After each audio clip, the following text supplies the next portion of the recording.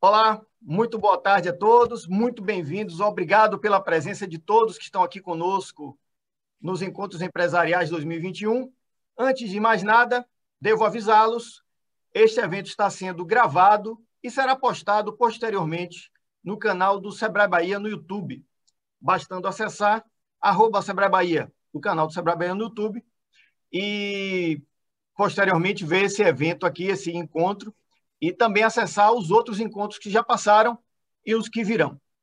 Bom, o... muito obrigado mais uma vez pela presença de todos aqui, neste que é o sexto do, dos encontros da série de encontros empresariais 2021, Estratégias para a Retomada do Crescimento Empresarial na Bahia, uma iniciativa do Sebrae Bahia e entidades empresariais e institucionais que compõem o seu Conselho Deliberativo, quais sejam Fé Comércio, a Federação do Comércio de Bens, Serviços e Turismo do Estado da Bahia, a FAEB, Federação da Agricultura e Pecuária do Estado da Bahia, a FIEB, Federação das Indústrias do Estado da Bahia, FCDL, Federação das Câmaras de Dirigentes Logistas do Estado da Bahia, e a FACEB, Federação das Associações Comerciais do Estado da Bahia.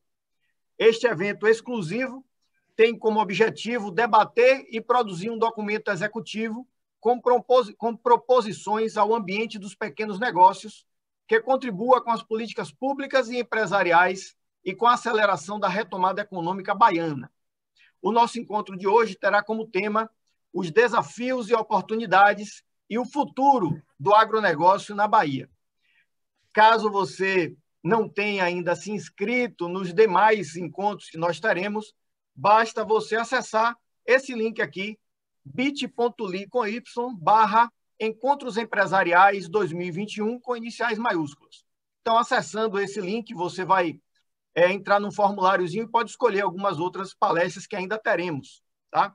No final do evento aqui, eu vou listar para vocês o, as outras palestras ainda, mas ainda temos mais três encontros, oito, duas, dois encontros pela frente. Aí. Vamos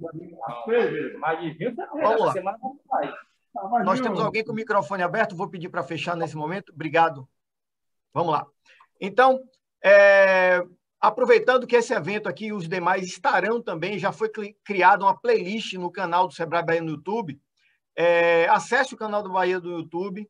Além de acessar a playlist dos Encontros Empresariais 2021, você também aproveita que já está lá e inscreva-se no nosso canal, acione o sino caso seja caso queira ser notificado para os próximos vídeos que o Sebrae Bahia posta. O Sebrae Bahia tem postado vídeos, vídeos constantemente, tem muitos conteúdos para micro e pequenas empresas, para o ambiente de negócios como um todo, os pequenos negócios.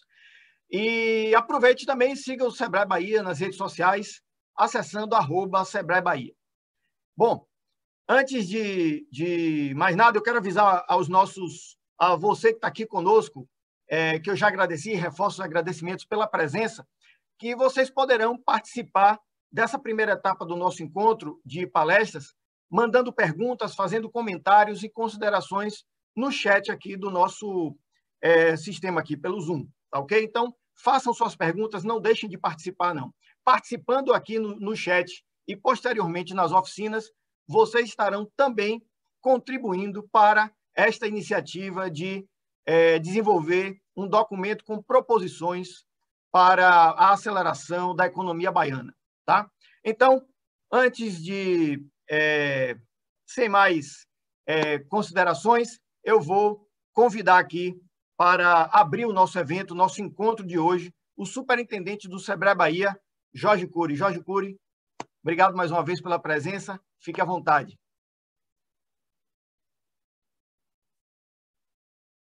O microfone, Jorge, está fechado. Agora.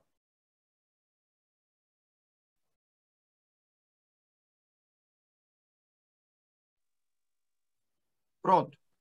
Boa tarde, Rafael, que tem conduzido com muita tranquilidade, muita presteza esses nossos encontros e que eu, eu diria que tem me surpreendido a qualidade desses encontros realmente nesse período da pandemia e que as lives e que todos esse tipo de é, reuniões remotas tenham ocorrido, tem me chamado a atenção é, todos os, os eventos que eu tenho participado nos encontros empresariais. E eu tenho certeza que vamos ter hoje mais uma tarde rica de informações e de conhecimento.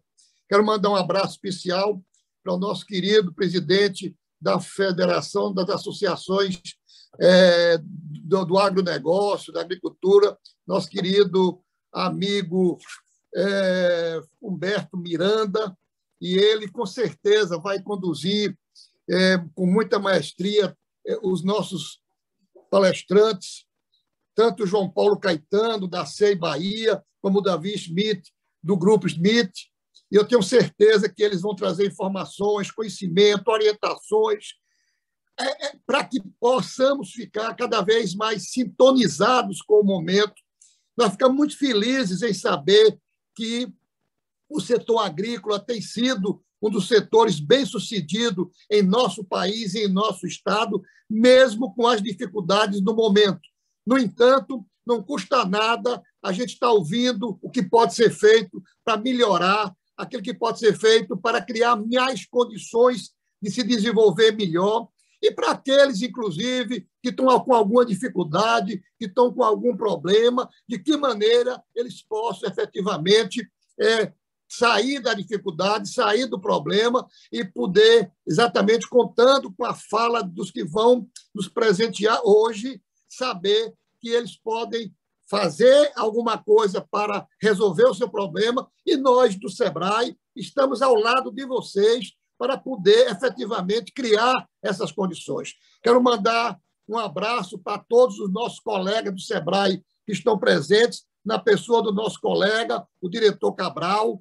Quero também aproveitar para parabenizar e desejar êxito no, no, no, no, próximo encontro também a André Gustavo, aí da nossa CDE, como a Isabel, aí da UGE, que tem sido a área técnica que tem trabalhado com muito denodo para fazer com que esses encontros possam ser produtivos, possam ser eficientes.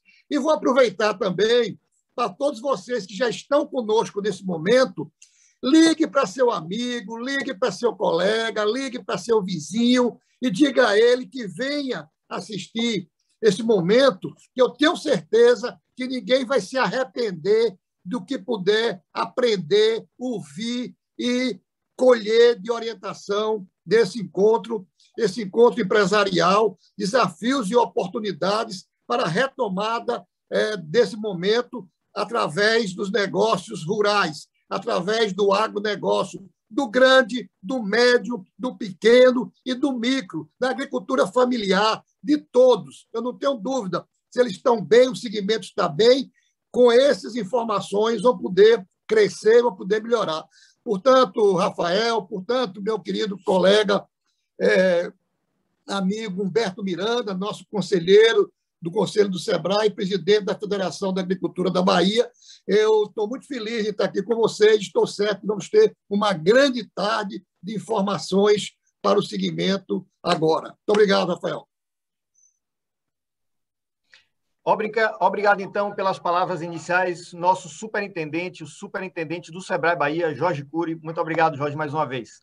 Bom, é, para falar um pouco sobre os encontros empresariais 2021 e também para conversar sobre a metodologia que teremos nesses encontros, nesse encontro de hoje também, com as oficinas posteriormente, eu vou convidar a minha colega Isabel Ribeiro, Isabel Ribeiro, que é gerente adjunta da Unidade de Gestão Estratégica do Sebrae Bahia.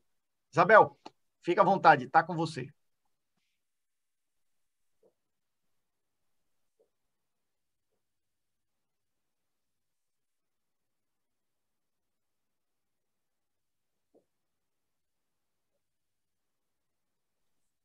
Bel, você está sem áudio.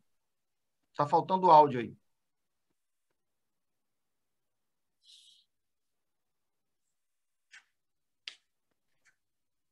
E agora? Tá, tá ok. Sua apresentação está no ar também. Se você puder colocá-la em modo tela cheia, melhor. Tá. Bom, gente, é, mais uma vez, obrigado a todos, né? Obrigado ao doutor Cury. Nós estamos em equipe, é uma equipe que a gente tem o entrosamento do CDE, André, Rita, Kátia, nosso querido Rafael pelo MC, Sérgio Gomes, nosso gerente, é, e Vitor pela UPM. Então, é um trabalho em equipe, é, que a gente está muito feliz de participar desse processo. Agradecemos aos palestrantes, a João, é, a Davi e ao nosso mediador, representando a FAEB, doutor Humberto. É, e vou falar aqui rapidamente. André tem falado, a gente tem batido essa bola, ser super rápido. É, na verdade, André, né, juntamente com a OGE, nós fomos desafiados é, pelo presidente do CDE e pela diretoria executiva a promover encontros onde a gente possa discutir alternativas para a retomada do crescimento que considere a inserção das micro e pequenas empresas e a questão do empreendedorismo. Quando a gente construiu isso, a gente fez questão é de não deixar um segmento fora dessa discussão.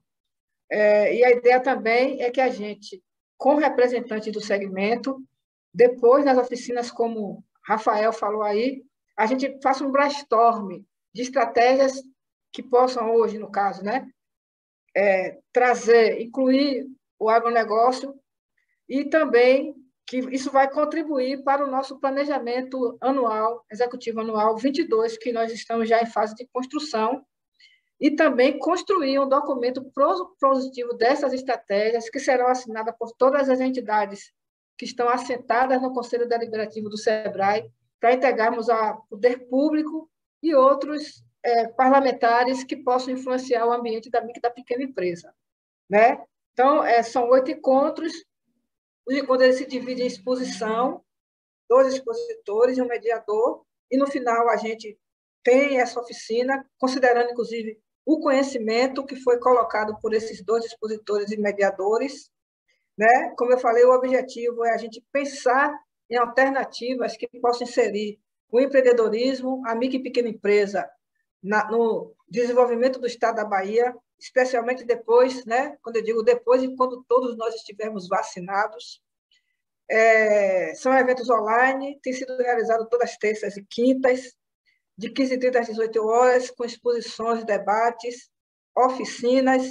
A gente está compilando esses documentos e vamos sair com alternativa, né? indicação de setores, segmentos e temática, o nosso planejamento executivo 22 e também desenhar um documento para entregar ao poder público. É, já tivemos né, o, primeiro, é, o primeiro seminário, webinário que a gente teve, foi sobre os impactos dos investimentos públicos que estão em curso ou que estão sendo contratados pelo governo do Estado. Tivemos a presença de Paulo Guimarães, pelo SDE, Gustavo Pesseltos, pelo Corecon, e doutor Reinaldo Sampaio, pela Abrocha.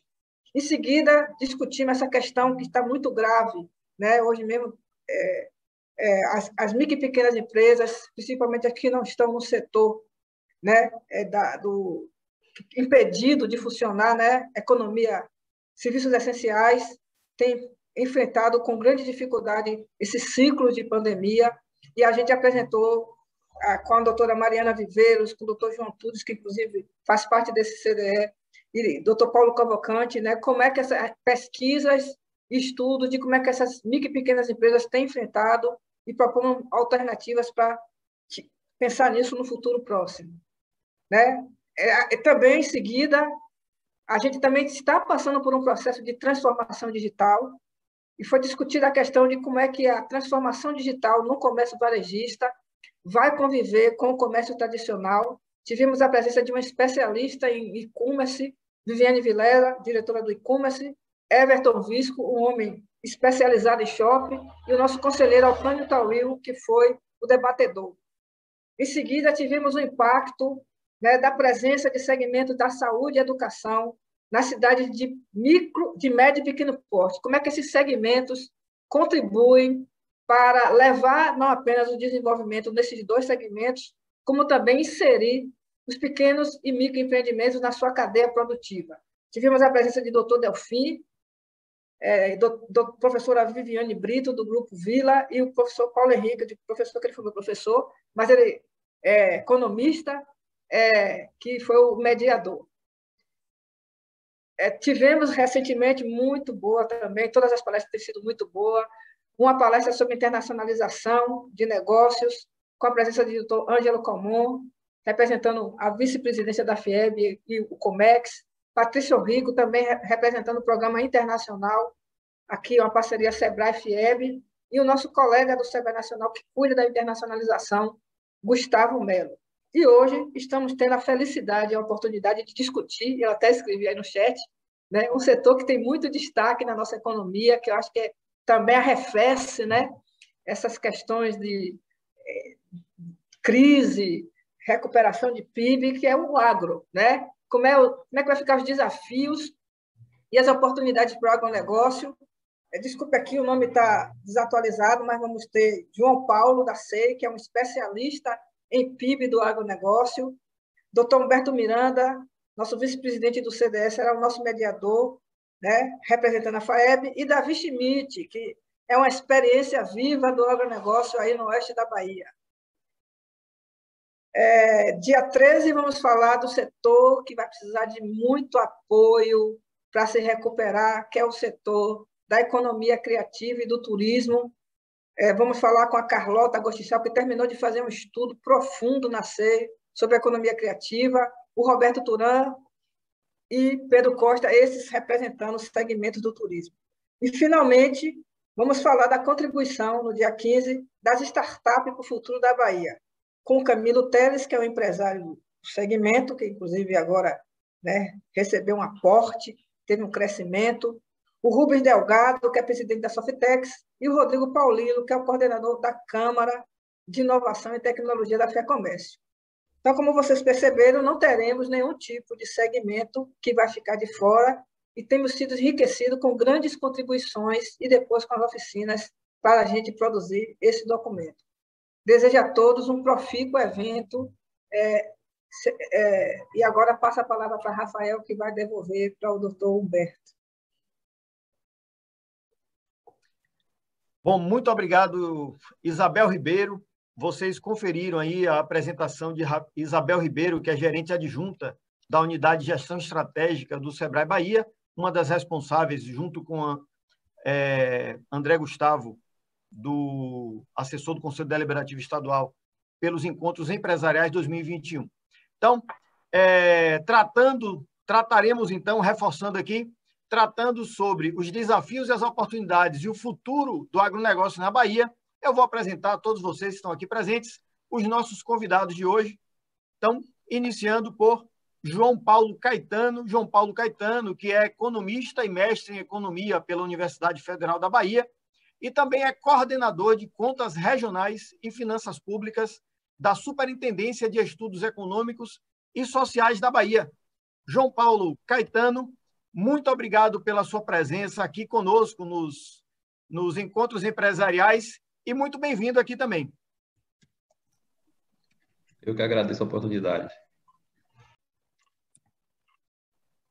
Ok, meu caro, obrigado. Então, nosso segundo convidado de hoje é Davi Schmidt. Davi Schmidt tem bacharelado em gestão tributária e administração e controladoria pela Faculdade Alves Faria de Goiás foi presidente e vice-presidente também da Cooperativa Educacional de Barreiras, foi também vice-presidente da Associação dos Produtores e Irrigantes da Bahia, é presidente do Sindicato dos Produtores Rurais de Barreiras e também é sócio-diretor administrativo do Grupo Schmidt Agrícola, selecionado pela revista Forbes Brasil como uma das 100 empresas mais representativas do agro em 2019, Davi Schmidt, portanto, muito bem-vindo aos nossos encontros empresariais 2021. Muito obrigado pela sua presença aqui também conosco. Obrigado, é um prazer, Rafael, estar aqui presente é, nesse evento, esse magnífico evento que eu acho que vem a calhar numa situação que nós nos encontramos, né, de pensar o futuro, olhar o futuro e buscar as oportunidades que elas existem. Ok, meu caro, muito obrigado.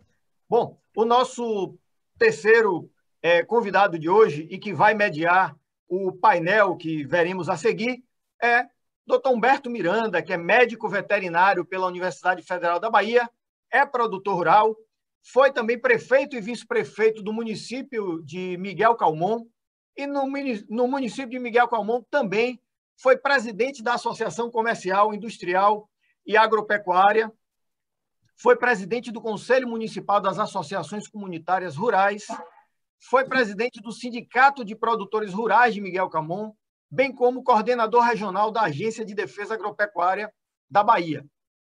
É, também foi vice-presidente, superintendente adjunto e diretor do Serviço Nacional de Aprendizagem Rural, Regional Bahia. Atualmente é presidente da Federação da Agricultura e Pecuária da Bahia.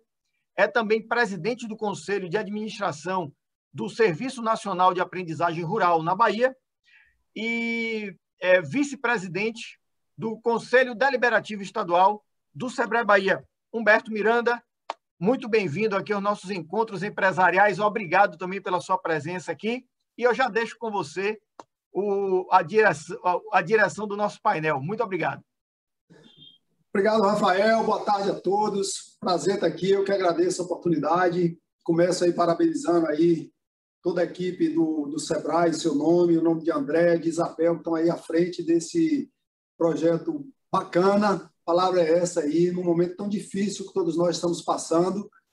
E o Sebrae, que é responsável é, pela capacitação, qualificação e orientação dos pequenos negócios na, aqui no nosso estado, na Bahia, no Brasil inteiro, mas em especial aqui na nossa Bahia, está tendo essa iniciativa de discutir o tema da retomada da economia, dos desafios e das oportunidades, e mais que isso, ao final, vai fazer um documento com proposições fruto dessa discussão coletiva, que também é uma coisa muito legal você socializar a discussão de problemas que afetam toda a sociedade, que afetam todo o setor produtivo.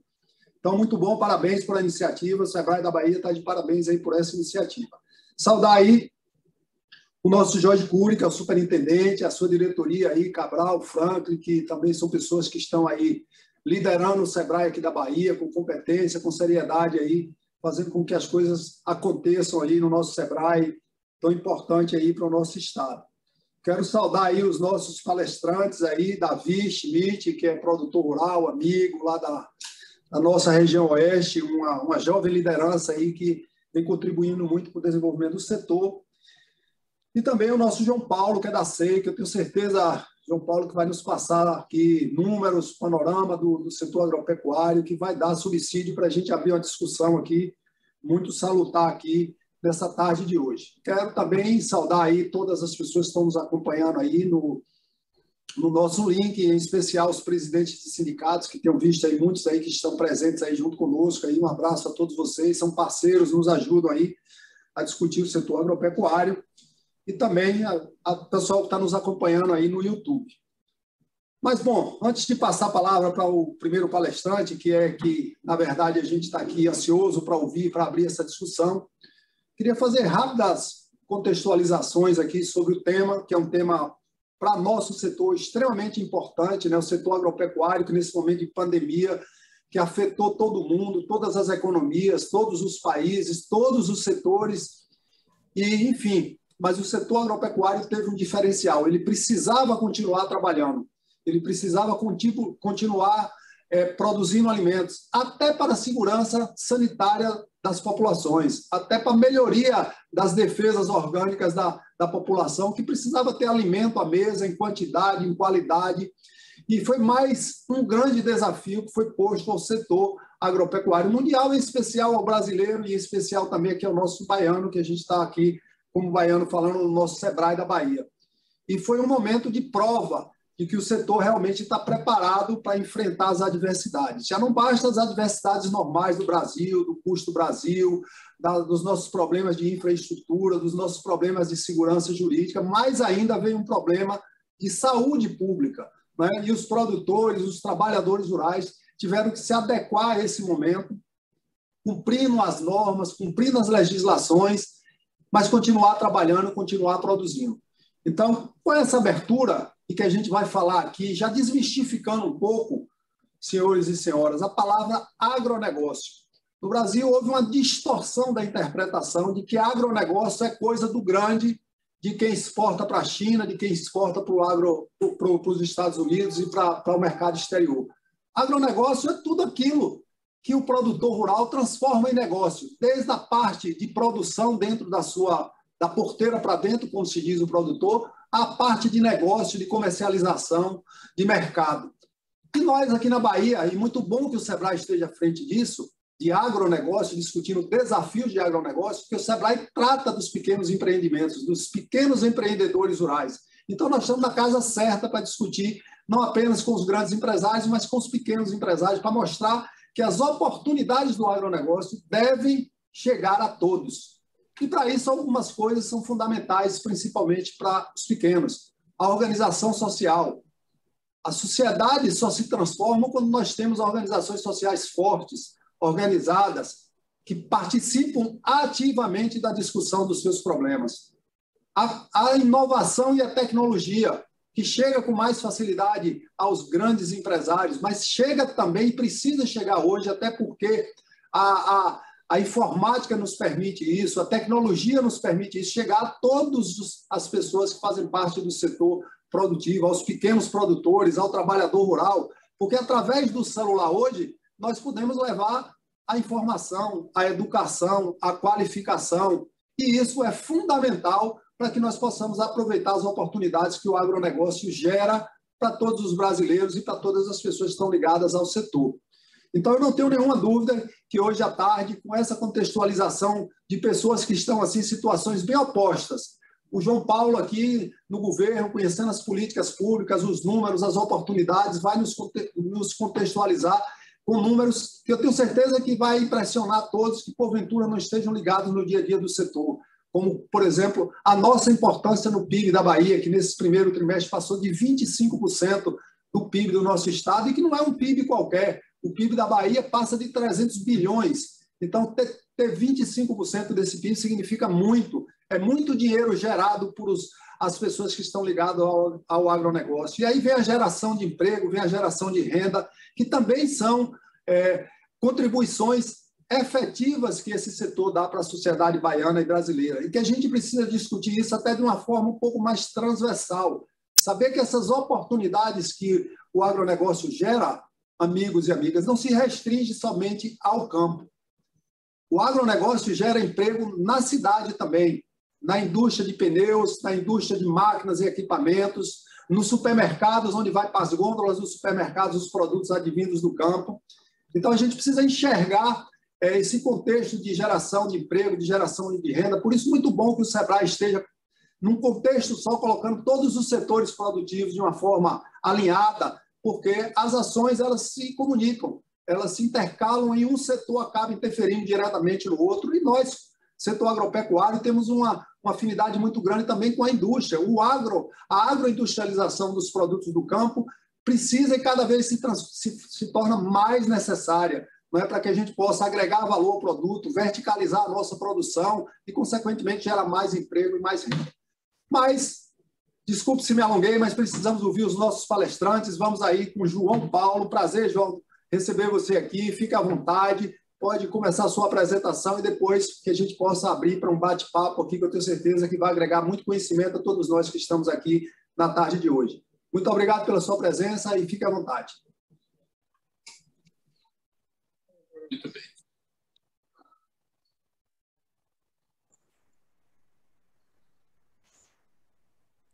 Nos ouve, João? João, parece que ele teve um probleminha na conexão. Se João teve um problema na conexão, de imediato, como estamos ao vivo, vamos a Davi Schmidt. Aí a gente inverteria Pronto. a apresentação. Com o Davi está ali junto conosco ali. Eu passaria para aqui Davi Schmidt, como disse que é produtor rural, jovem empresário de sucesso, uma pessoa que está muito envolvido com esse tema da organização. Voltou, João? Acho que não, né? Se João não voltou. Eu estou aqui. Ah, chegou, chegou. Não, não, Davi que está aí, João não voltou, não. Vamos lá. Vamos com Vamos Davi. Lá. João fica com a segunda apresentação. Então, Davi, só é, terminando, é uma pessoa que está muito envolvido com essa questão da organização social, participando de associações, de cooperativas, e que entende muito bem essa importância do setor estar organizado, até para superar as crises, como nós tivemos agora na questão da pandemia. Muito obrigado, Davi, pela sua presença. Fique à vontade aí. Estamos aqui ávidos para ver a sua apresentação. Obrigado, doutor Humberto. Estão é...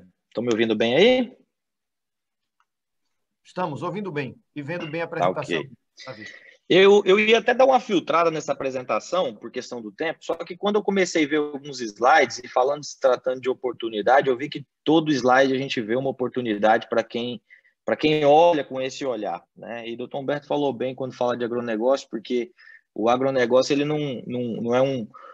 É, na verdade, assim, todo mundo que está na terra, ele de certa forma ele tem um negócio independente do tamanho dele, porque é de lá que ele tem que buscar as oportunidades, né? É, eu vou falar um pouquinho aqui da Schmidt Agrícola para vocês entenderem o que é o nosso negócio lá e como que esse negócio pode servir de base para o, o, o que nós fazemos, né, para o segmento rural, mas como ele pode servir também de oportunidade para cadeias parceiras, né, para prestadores de serviço, para clientes, é, e se tratando também de diversos tamanhos de, de, atividades que a gente exerce lá. Né? Então, falando rapidamente, nós somos uma, uma propriedade é, que nós nos consideramos né, como um negócio de alicerce familiar, né, nós somos uma atividade é, é, ainda puramente familiar. Ah, trabalhamos hoje na produção de alimentos e fibras, atendendo ao objetivo social da terra, né, que é a produção agrícola. É, ser reconhecido como uma organização referente de gestão do negócio e produção agrícola, né, e valores alcançar os nossos resultados aí através das parcerias com os colaboradores internos e externos através da ética em nossa conduta e transparência em nossas ações, atendendo assim a função social da terra que é produzir. Aqui um resumozinho da nossa história, né? Nós, nós já temos aí 40 anos de, de chão, é, desde 79, né, quando é, a todo momento se discute o negócio, né, as oportunidades de negócio no oeste da Bahia, é, que é bom também citar né, na nossa localização. A, ah, de ser chegado em 79, meu pai é, é imigrante sulista, né? De lá para cá desbravou, ajudou a desbravar aí o extremo oeste da Bahia, um cerrado que naquela época não se tinha tecnologia para se desenvolver essa região, né? E através de pesquisa e através de parcerias, o pessoal conseguiu é, trabalhar o solo muito ácido, né? E árido de certa forma com, com, técnicas agrícolas aí, onde tornou hoje um dos celeiros aí do, do Brasil, pode se dizer, não somente da Bahia. É, e de lá veio esse desenvolvimento, investimento em tecnologia, infraestrutura, armazenagem, logística, novas aquisições, expansão, né? E, e recentemente entramos no mercado também de, de fruticultura, né? É, iniciamos com, com a plantio de banana, atualmente cacau também. Eu vou falar um pouco mais para frente aí sobre as oportunidades do cacau aqui na região. É, e o último, último marco nosso foi agora em 2021, com um recorde aí de um milhão de sacas colhidas uh, no nosso grupo. Né? Uh,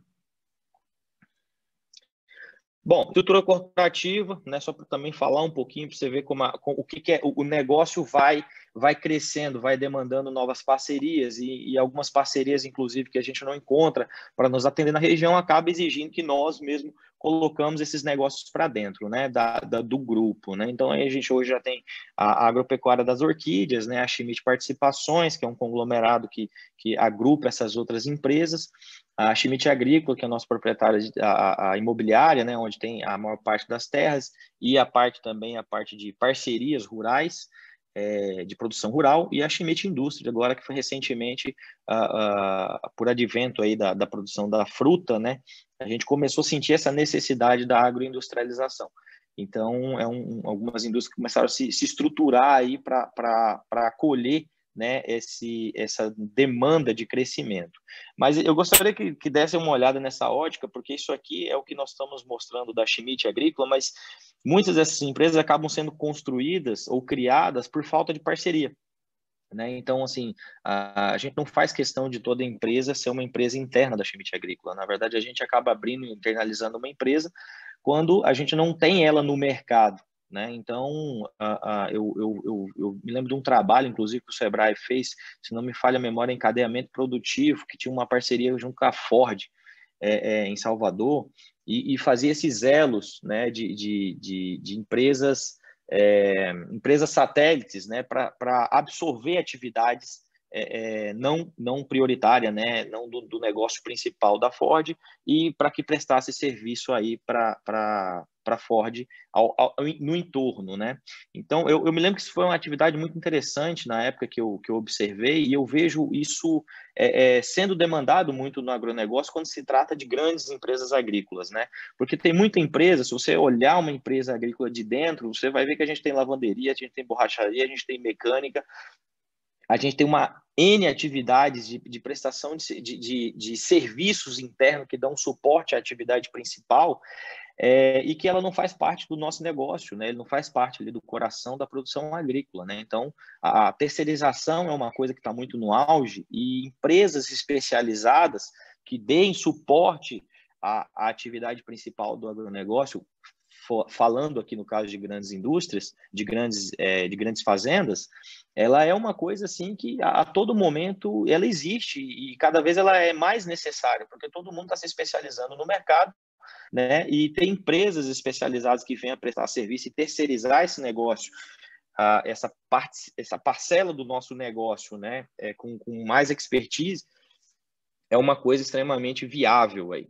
Então, a estrutura organizacional, né, aqui tem algumas outras marcas nossas, né, a participação na Bahia, que é uma empresa de beneficiamento de algodão, a Embu Agropecuária é imobiliária, Bio Brasil Produção de Mudas é uma, uma empresa de produção de, de mudas de cacau, né, é, que tem uma demanda gigantesca hoje no Brasil.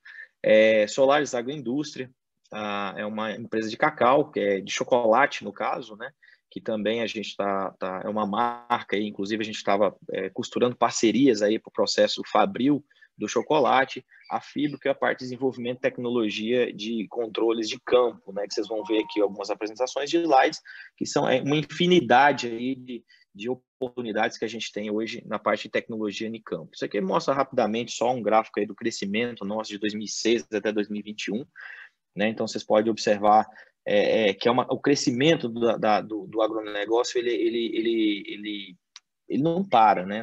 Na verdade, não para porque a gente não vê a coisa dentro de um mês, são ciclos maiores ali de um, dois anos.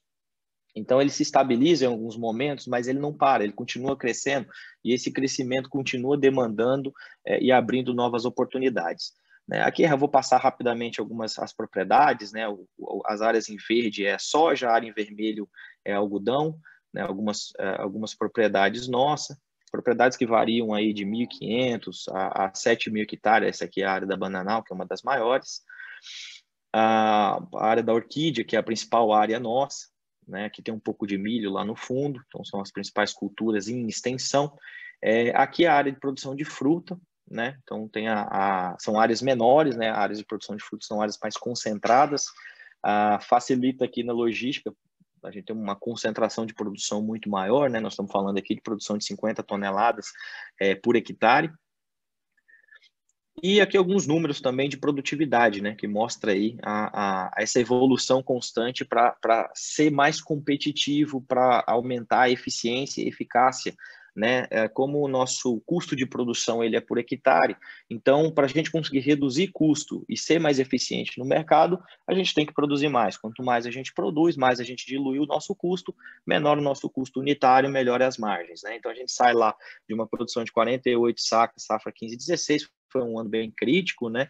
E vem trabalhando uma evolução ano após ano aí, é, é, é sempre buscando, né, com esse foco em melhorar a nossa produtividade.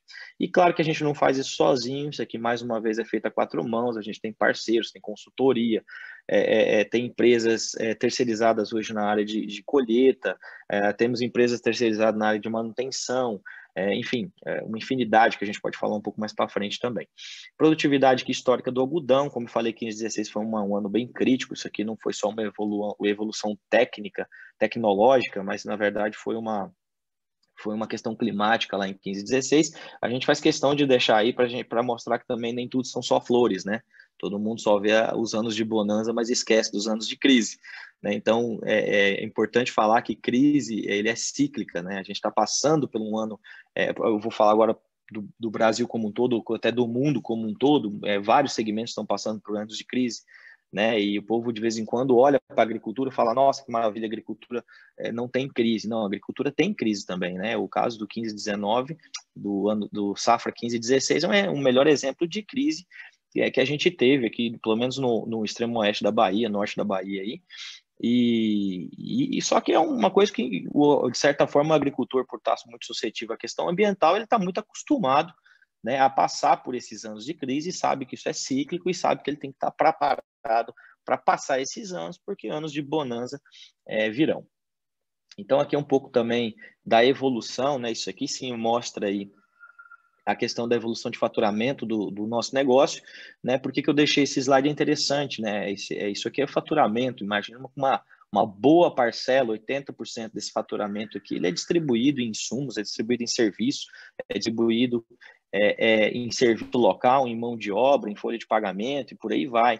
Né? Então, é, essa fatia, quando a gente se fala do PIB do agronegócio, que vai ser é, é, melhor comentado por nosso outro amigo, palestrante, é que é, isso é, é, uma oportunidade de negócio. Né? O tanto que o, que o Brasil importa de, de, de, de capital estrangeiro né, para dentro, através das suas exportações, ele pode ser redistribuído dentro do Brasil através de negócios que dão suporte ao agro. Né? Então, seja a empresa de logística, a, a, transporte, armazenagem, serviço, consultoria mecânica, né? Então, é, esse PIB, na verdade, ele tem que, de certa forma, ser fatiado por dentro do Brasil. Ele não pode voltar lá para fora através de importação de insumos, máquinas e tecnologia. Ele tem que ficar aqui dentro, né? E para isso a gente precisa dessas empresas acessórias que nos dê suporte, né? E que nos, nos é, atendam, né? Para que esse essa, essa parcela dessa importação, desse capital, desse, é, é, dessa balança é, comercial positiva que o PIB, que o agronegócio gera para o Brasil, fique dentro do Brasil. Isso aqui é só um, um esboço da nossa da estrutura organizacional, né? Então, quando você vê hoje uma grande, é, é, uma grande propriedade no, no segmento agro, né, a gente vê hoje é, atividades como gestão de trabalho, gestão de, tecnologia, ciência e tecnologia, pesquisa e desenvolvimento, a tecnologia da informação, desenvolvimento de software. Então, tudo isso hoje é mão de obra capacitada que a gente tem aqui dentro, que, que não trabalham sozinho. Então, a gente tem uma vasta gama de, de parcerias aí, de consultorias que nos dão esse suporte. Ah, aqui é só um esboço, né? Esse aqui, inclusive, está do mês de fevereiro, tem que dar uma atualizada. Ah, o total hoje, em fevereiro, de 433 colaboradores, hoje está tá passando de 500 aí, devido a, ao incremento. Já as usinas de algodão estão rodando agora no segundo semestre, então a gente tem um, um engrossamento aí no, no caldo de, de, de, de oportunidades de mão de obra.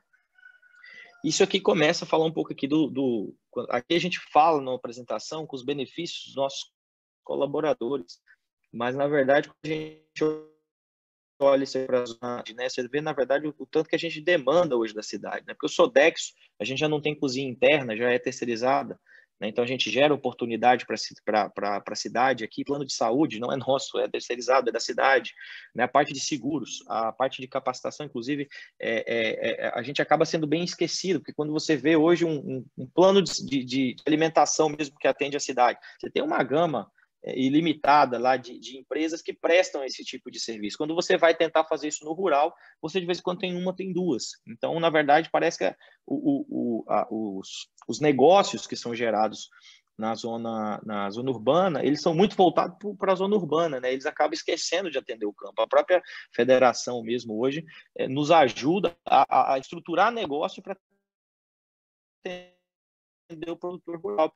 Também mas infelizmente nós não conseguimos ser vistos, né? E mais uma vez elogio para essa parceria do Sebrae, né? Nesse, nesse é, entrelaçar as cadeias produtivas, né? As cadeias de negócio que pode gerar a, a, essa clara evidência aí da, das oportunidades que existe hoje no agro, e isso para nós é muito bom, né, porque a gente vai ter mais oferta aí de, de serviços e produtos que possam nos, nos ajudar. A parte de capacitação, o Senar é um grande parceiro, junto Central de Treinamento e algumas universidades, dentre outras, né? A parte de certificações, né? Isso aqui também tudo muito acompanhado com a parte de consultorias para dar todo esse suporte, né? Mas hoje a gente tem as certificações aí. É, é, eu, que, quando a gente fala certificação, você fica imaginando, ah, você tem um selo no seu produto, mas o selo no seu produto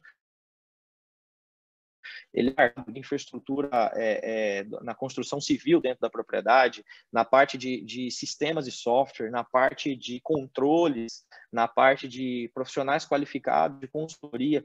Então, quando você imagina que cada certificação dessa que nós temos aqui exigiu reforma de estrutura, exigiu um engenheiro civil, exigiu construtoras, exigiu é, é, é, mão de obra qualificada para fazer os reparos, para fazer as adequações, para nos dizer o que, deveria ter sido feito. Né? Então, é, essa parte de, de regularizar, de, de, de, principalmente a parte normativa, ela acaba gerando essa oportunidade desse, dessa conversa com, com mão de obras especializadas na zona urbana. Né?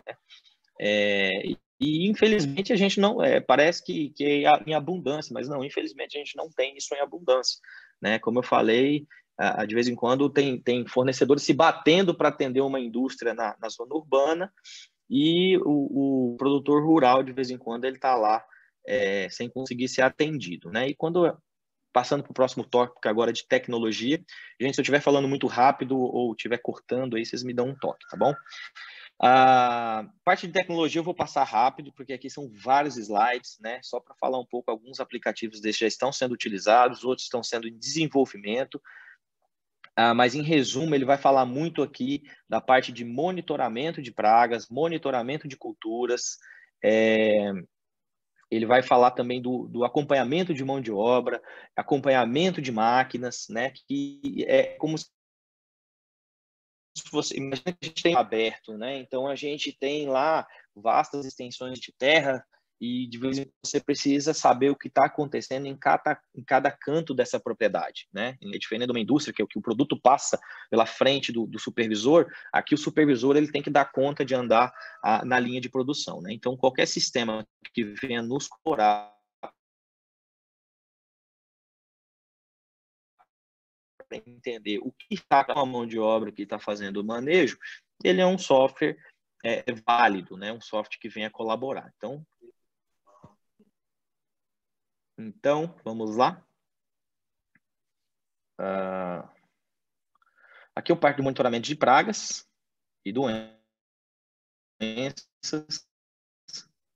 a MC,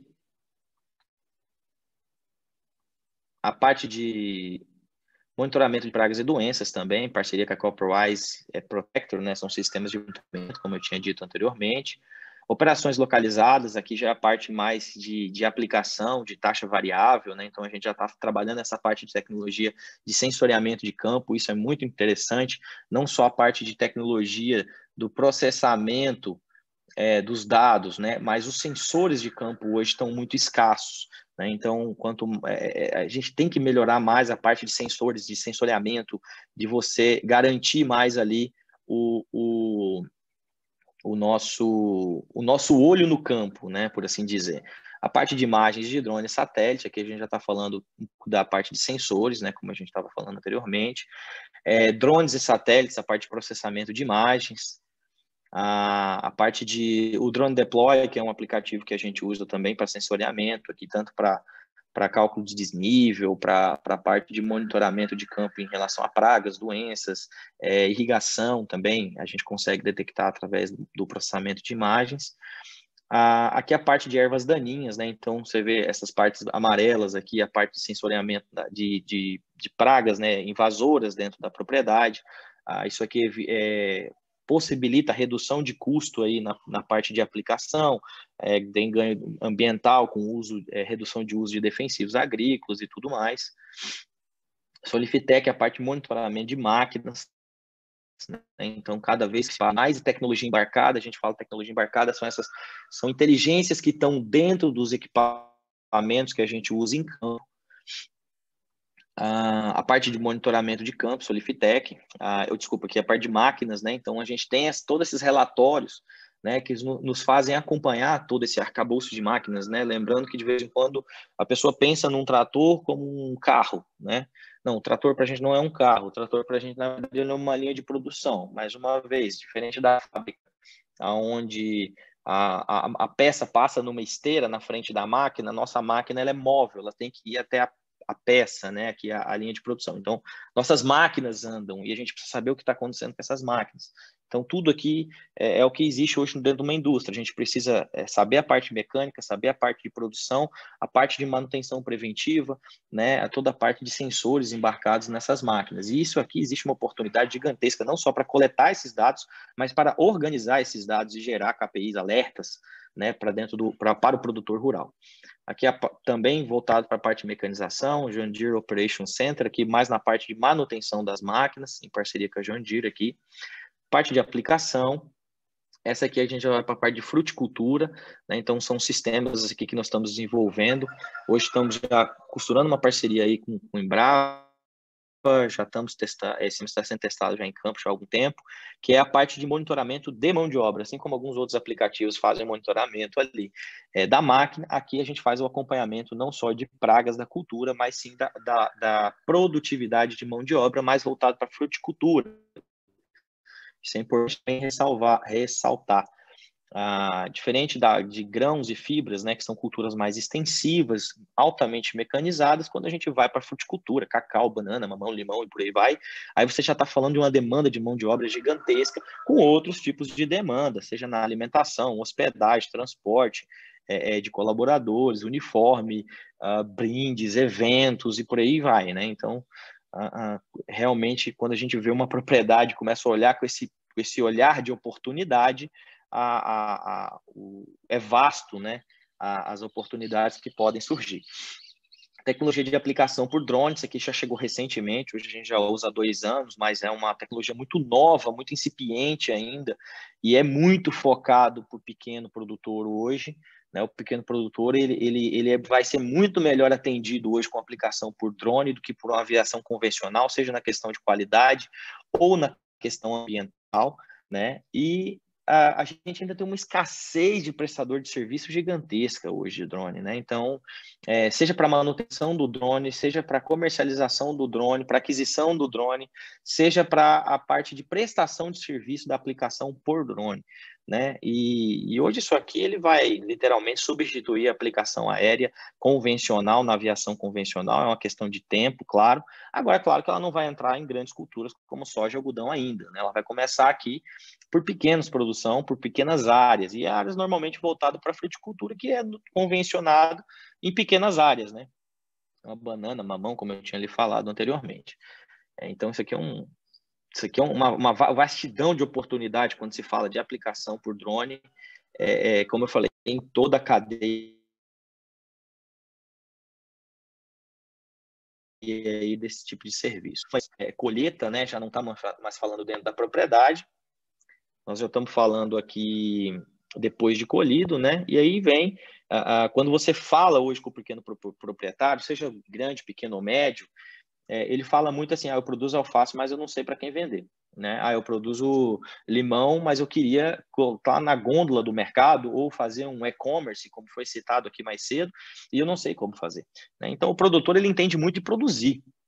Né? Então, é, é, é existia, na verdade, cadeias é, mais convencionais anteriormente, ah, o Ceasa, é, dois, três atravessador que fazia parte de logística e comercialização, só que é, o que, que acontece é que a, a coisa está ficando tão competitiva que os mercados eles têm que se ajustar e esses atravessadores inviabilizam muitas, muitas culturas e unidades. E aí é onde você vem com o e-commerce, fazendo uma ligação ponta a ponta, né? ou pelo menos a, a, a produção, a mercado, produção, distribuição, uh, e encurta essas distâncias, né, para que você consiga dar competitividade para o produtor hoje e melhorar as margens do produtor rural também. Né? E isso o produtor não sabe fazer.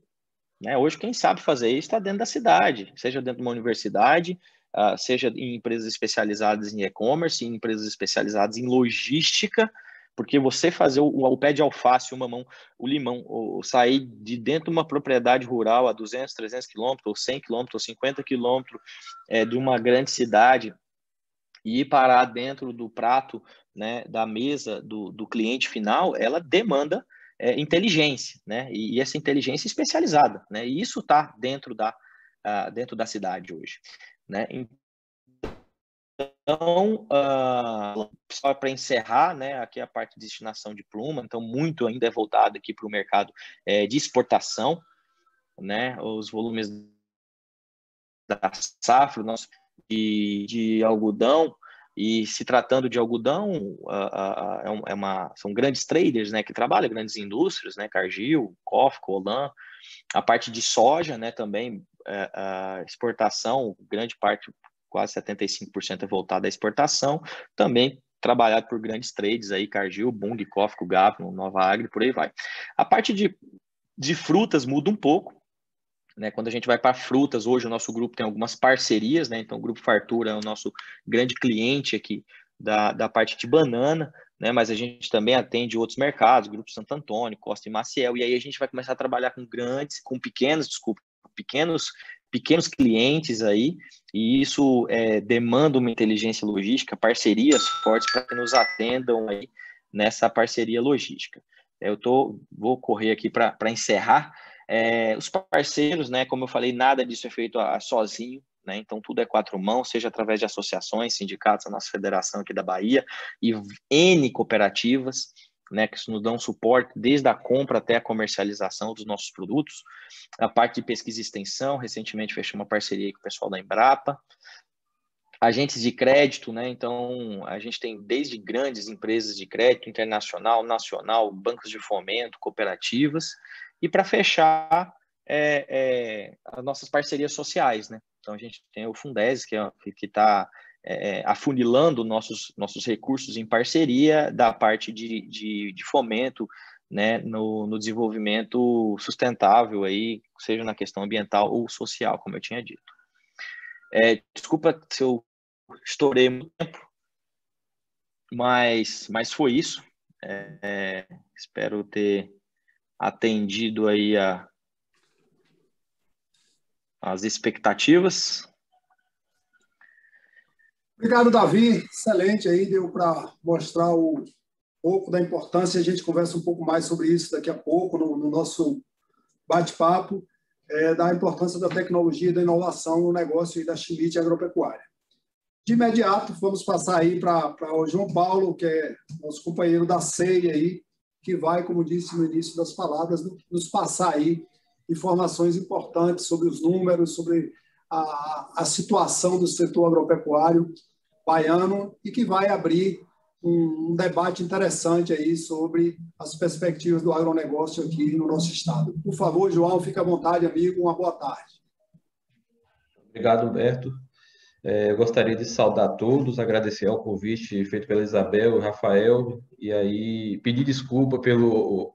Estou com um problema aqui de internet. Eu liguei agora para a operadora e disse que estou tendo uma interferência, alguma coisa aí, só resolver à noite. Aí eu tive que vir para cá, para um local que não é muito bom. Provavelmente deve ter alguma interferência sonora aí, que eu estou pegando a internet do meu celular. Espero que ela segure aí até o final da apresentação.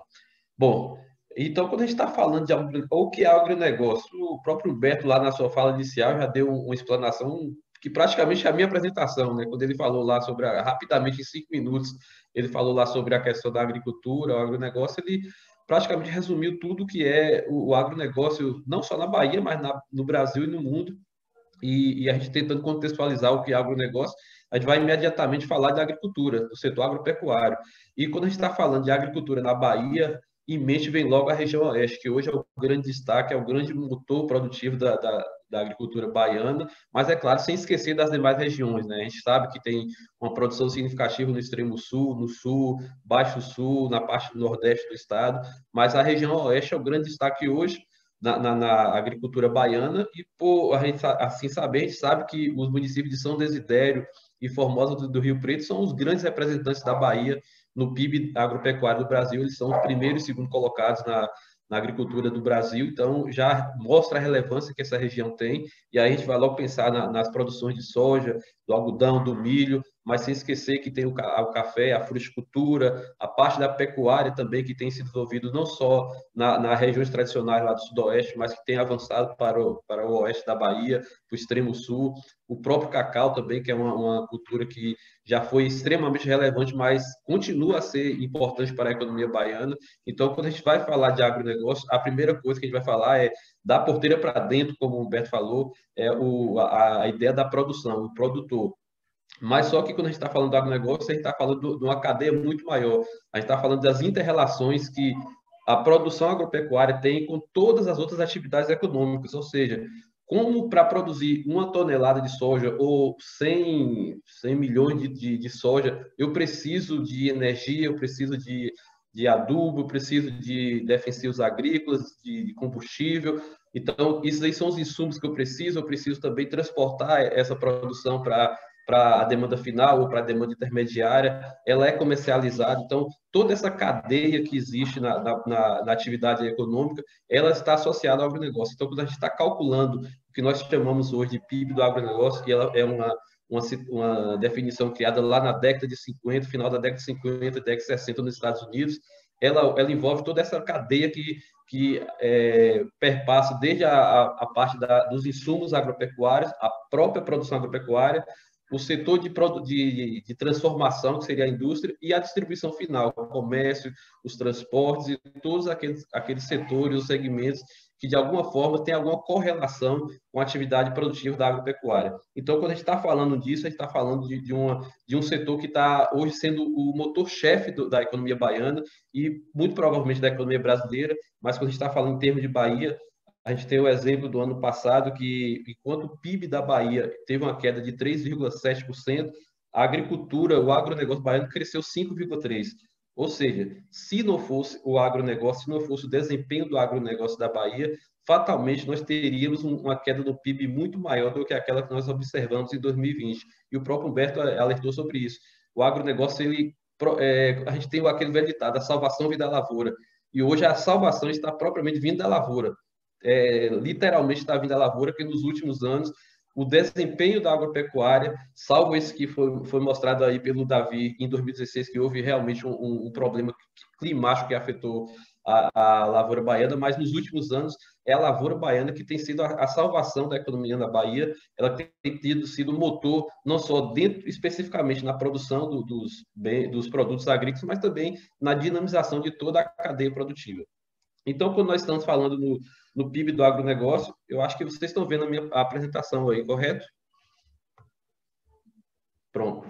Então, quando a gente desenvolveu essa metodologia, na verdade, não é nossa metodologia de cálculo do PIB no agronegócio, ela, como eu disse, foi criada lá na década de 60, foi aperfeiçoada no Brasil pelo, pelos estudiosos lá da USP, da, da Exalc, e nós pegamos e adaptamos aqui para a Bahia. E quando a gente está falando de agronegócio, a gente está construindo, analisando quatro grandes conjuntos de atividades, que é o agregado 1, que a gente fala que são os insumos para agricultura e pecuária, ou seja, tudo que a, o setor da agropecuária ele demanda para produzir, como eu disse lá, é, a parte de fertilizante, de adubo, a própria energia elétrica, é, e uma série de outros produtos que são necessários para que se desenvolva a atividade agropecuária. O agregado 2, que é a própria agropecuária, né? ou seja, a própria atividade agrícola que está ocorrendo ali dentro da fazenda, dentro da, do estabelecimento agrícola. Temos também o cálculo do agregado 3, que são as indústrias de base agrícola, ou seja, elas consomem alguns produtos que vêm lá do agregado 2. Basicamente, aí a gente está falando de, da indústria de alimentos e bebidas, mas é claro que existem outras indústrias que têm como base o, o setor agrícola, exemplo da indústria moveleira, uma parte da indústria de, de é, borracha, que vem a parte da, da borracha é, natural, e outros segmentos da indústria também que são de base agrícola. Então, a gente analisa todas essas informações e considera aí nesse agregado 3, e finalmente o que a gente chama de agregado 4, que é a parte final de comercialização. Desde a parte do transporte, seja lá da, da produção até o consumo final, seja para exportação, toda essa correlação, o comércio, todos os serviços que, que são é, associados, ainda há pouco o próprio Davi Schmidt citou que eles demandam é, plano de saúde, demandam alguma, uma série de outros serviços que teoricamente são voltadas apenas para o setor urbano, mas que também o setor agrícola consome isso. Então, dentro desse agregado 4, a gente também busca estimar a participação da, do, do agronegócio e, a partir daí, a gente consolida todo esse PIB. Então, aqui nessa tabelazinha aqui, eu trago a, a, a, análise do agronegócio da Bahia desde 2012, foi quando a gente começou último, o último, o primeiro ano da série, né, na verdade, a gente começou a calcular em 2017, 16, 17, o PIB do agronegócio da Bahia e a gente conseguiu retropolar, ou seja, voltar até o ano de 2012. E aqui a gente observa como é que está a desagregação do PIB ano a ano por pelos quadros agregados. Então, dentro dessa estrutura do PIB da agronegócio da Bahia, é claro, o agronegócio, o agregado 4, é o que tem maior importância, porque é, o, é o, a parte final. E aí você tem toda aquela questão da, da intermediação do comércio, da intermediação da, do setor de transporte, que é os intermediários, que incidem um grande valor sobre o produto agrícola e acaba que ele é, contempla a maior parte. Sem falar que o próprio setor de serviços na, na economia baiana e brasileira é o principal setor. Hoje, aproximadamente 70% da economia baiana ela é de serviços. Então, o, naturalmente, toda atividade de serviços estaria com maior peso dentro do PIB do agronegócio. E aqui a gente pode olhar no agregado 1, a gente vê que tema lá em 2012 era apenas 1,4% do PIB da Bahia, em 2020 ele fecha com 1,6%, praticamente 1,7% do PIB da Bahia. E aí, como o, o, o Schmidt falou, muito importante, é, existe sim a necessidade de a gente poder internalizar maior essa demanda interna. Porque muito, essa, essa participação aqui, ela poderia ser maior se a Bahia tivesse a capacidade de, de gerar mais insumos para as suas atividades agrícolas. A gente teve o exemplo de 2019, que foi a, o fechamento da fábrica da Fafem, uma fábrica de insumos agrícolas. Então, a gente perdeu a capacidade de produzir aqui um insumo que era demandado pelo setor agrícola e passamos a exportar esse insumo. Então, isso aí prejudica não só o setor industrial, mas efetivamente o setor agrícola, que vai ter que pagar um preço maior pela, pelos insumos necessários para a sua produção. Então, se tiver, tivermos uma política mais específica para tentar reduzir essa dependência externa, podemos com certeza aumentar essa participação do agregado 1, que seria os insumos básicos da produção agrícola. E já no agregado 2, que é o próprio setor da agropecuária, nós temos aí uma evolução, ele começa em 6,4% e em 2020 fecha com 8%. A gente analisando aí o setor agropecuário dentro da, da economia baiana, ele pesa quase 9%. Ele chegou a pesar 5,5% e em 2020 a nossa estimativa inicial foi que a agropecuária, especificamente a agropecuária, ela pesa quase 9% do PIB da Bahia, ou seja, é uma evolução crescente e essa evolução é demonstrada aqui também dentro do PIB do agronegócio. Ele sai de 6,4% em 2012 e vai avançar até 8% em 2020. E é claro, ano passado a gente sabe que a gente teve uma safra muito, muito boa, né? A perspectiva desse ano é que ela se mantenha praticamente mesmo, no mesmo nível, com algumas culturas se destacando, outras uma, uma, uma, pequena retração, mas no geral a perspectiva é de que ela se mantenha nesse patamar aí, ou talvez até aumente essa participação do agregado 2. Já o setor, o agregado 3, que é a parte da indústria, ela está ali parada ali nos 3%. Ela houve um crescimento se compararmos em 2012, que era 3%, hoje é 3,35%, 3,4%, mas é um crescimento que tá, é muito focado basicamente no setor de alimentos e bebidas. A gente está tendo a ver, naturalmente, na Bahia, está tendo um retrocesso, não só na Bahia, tanto na Bahia como no Brasil, a, o setor industrial está meio que estagnado, fala-se muito em desindustrialização, e isso também tem se refletido aqui nos indicadores do PIB do agronegócio. Mas, é claro, fortalecido pelo desempenho do setor agropecuário, o próprio o agregado 3, que seria as indústrias, ela tem se mantido ali com a participação relativamente estável e até aumentando, é claro, como a gente está observando aqui nas estimativas de 2020. E, finalmente, o agregado 4, esse aí ele praticamente não teve estável. 11,26 em 2012 e 2020 11,27. Então, o setor de distribuição, de comercialização, a demanda final, ela se mantém estável na participação do PIB e isso aí reflete o, o nos últimos anos é, uma, uma, uma, queda da demanda interna, mas que foi se refletida na, no aumento da demanda externa. Se de um lado a gente teve por inúmeros fatores é, queda do, do, do emprego, queda da renda ou não um aumento proporcional da renda, isso aí afetou o consumo das famílias brasileiras. Por outro lado, as exportações têm favorecido, o agregado 4 tem favorecido com que a, a, a participação das, da, da, da, demanda externa ela faça com que esse agregado ele se mantenha estável ao longo dos anos. E aqui a gente está observando, nessa última coluna aqui, a evolução do próprio agronegócio e a participação na economia baiana. De 22% em 2012, ele vai lá para 24,3% em 2020, ou seja, uma participação que cresce quase 4 pontos percentuais, é um crescimento significativo.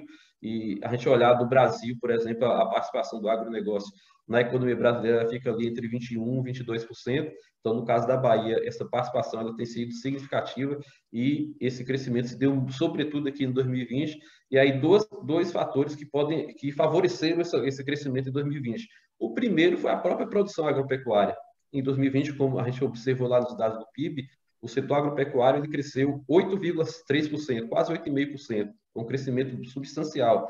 Mais uma vez eu repito, o PIB caiu 3,7%. A agropecuária cresceu 8,3%, 8,5%. E o outro movimento que foi muito mais impactante foi os preços.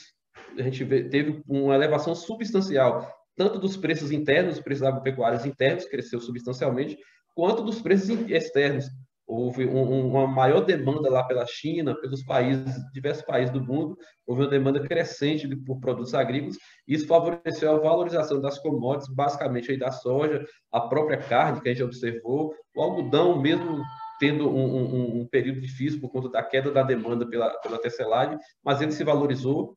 Então, quase todos os produtos agrícolas, eles tiveram desempenho significativo nesse período, isso aí favoreceu com que o agronegócio aumentasse a sua participação na economia baiana.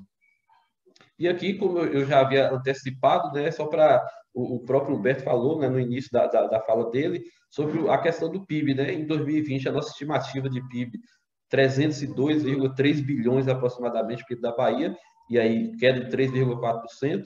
Já, em já o agronegócio, crescimento de 5,2%, e um PIB total de 72,278 bilhões, ou seja, aí que dá os 24% que a gente estimou lá, 24,3%, demonstra a, mais uma vez a força do agronegócio, a força do agronegócio, não só, repito, não só a parte da agropecuária, mas toda a cadeia. Então, a gente observa nesse, nessa, nesses números aqui que o agronegócio, a produção interna, ela foi essencial para a economia baiana, mas também a sua relação com as demais atividades econômicas, ela fez com que a atividade econômica baiana ela se sustentasse em meio ao processo de crise derivada da, da, da, da, da Covid. Né? Então, a, a, a, relação entre a agropecuária e todas as demais atividades econômicas foi com que determinou que tivéssemos um PIB não tão ruim quanto se esperava. Eu lembro que em abril, maio, nós estimávamos que o PIB da Bahia caísse até 10%. Foram as estimativas que a gente conseguiu fazer naquele momento, onde não tínhamos quase que informação nenhuma, a gente não tinha informação de nada, praticamente apenas alguns dados bem superficiais acerca da, da, de algumas atividades econômicas, e a partir dali, a, a partir da utilização de modelos econométricos, estimava-se que a economia baiana pudesse cair até 10%, a brasileira também no mesmo nível. Mas por conta de diversos fatores, o auxílio emergencial, a dinâmica das atividades que foi se recuperando e, sobretudo, a dinâmica específica do agronegócio aqui falando de Bahia, como vocês observam, um crescimento de 5,2%, isso aí arrefeceu a perspectiva de queda da economia baiana, de forma que, ao final de 2020, nós tivemos uma queda de 3,4%, ou seja, é uma queda significativa, é, mas que ela poderia ter sido muito maior se não fosse o desempenho, fosse a, o volume, a, a dinâmica específica do agronegócio. E aqui eu trago a evolução, esse gráfico ele mostra a evolução do agronegócio também no mesmo período, 2012 a 2018, a 2020. E aqui na, nas colunas a gente está mostrando a, as participações, então ela varia de 22 em 2002, vai a 24,3%.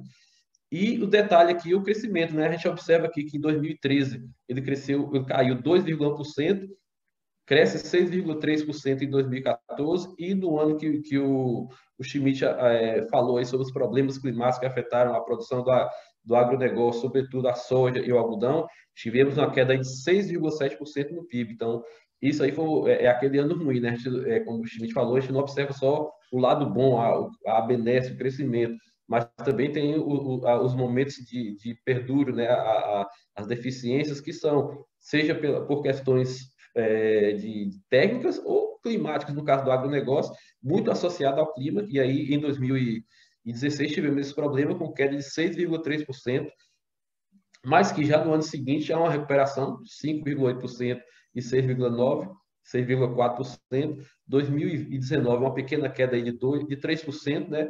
E o ano passado, 5,2%, que foi o último dado, culminando aí com essa participação de 24,3% do agronegócio. E aí a gente traz aqui rapidamente alguns outros indicadores do agronegócio, que é, é mais uma constatação, né? É, isso aí foi um estudo que nós fizemos no ano passado para avaliar a participação não apenas do agronegócio em termos de produção na, na, economia baiana, mas também o quanto é que ele gerava de ocupação. Então, conseguimos identificar que aproximadamente 30% das ocupações na Bahia estão associadas ao agronegócio.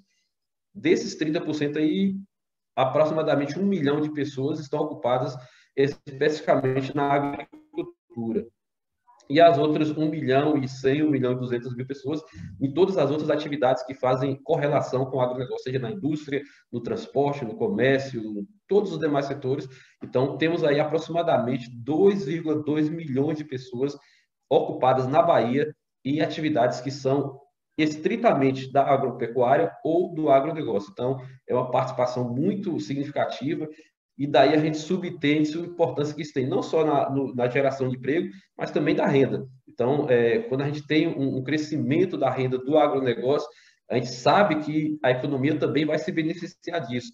Porque, indiretamente, quando a renda aumenta, a renda do, do, agricultor, a renda do produtor aumenta, porque ele conseguiu ganhos nas exportações, seja pelo dólar, seja pela valorização dos seus produtos, isso aí vai adentrar na economia e vai ser, de certa forma, repartido por toda essa população que está aí ocupada, algo em torno de 2 milhões de pessoas, e isso aí vai se refletir em quê? Em maior demanda lá no comércio, todas as atividades comerciais, na indústria, nos serviços. Então, é um, é um, é um segmento que dá muita dinâmica à economia e, e é importantíssimo hoje.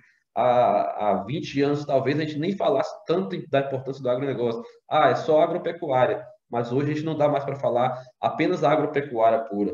A gente fala por questão da, da, construção metodológica, calcula o, o PIB da agropecuária, da indústria, do serviço, por questões metodológicas.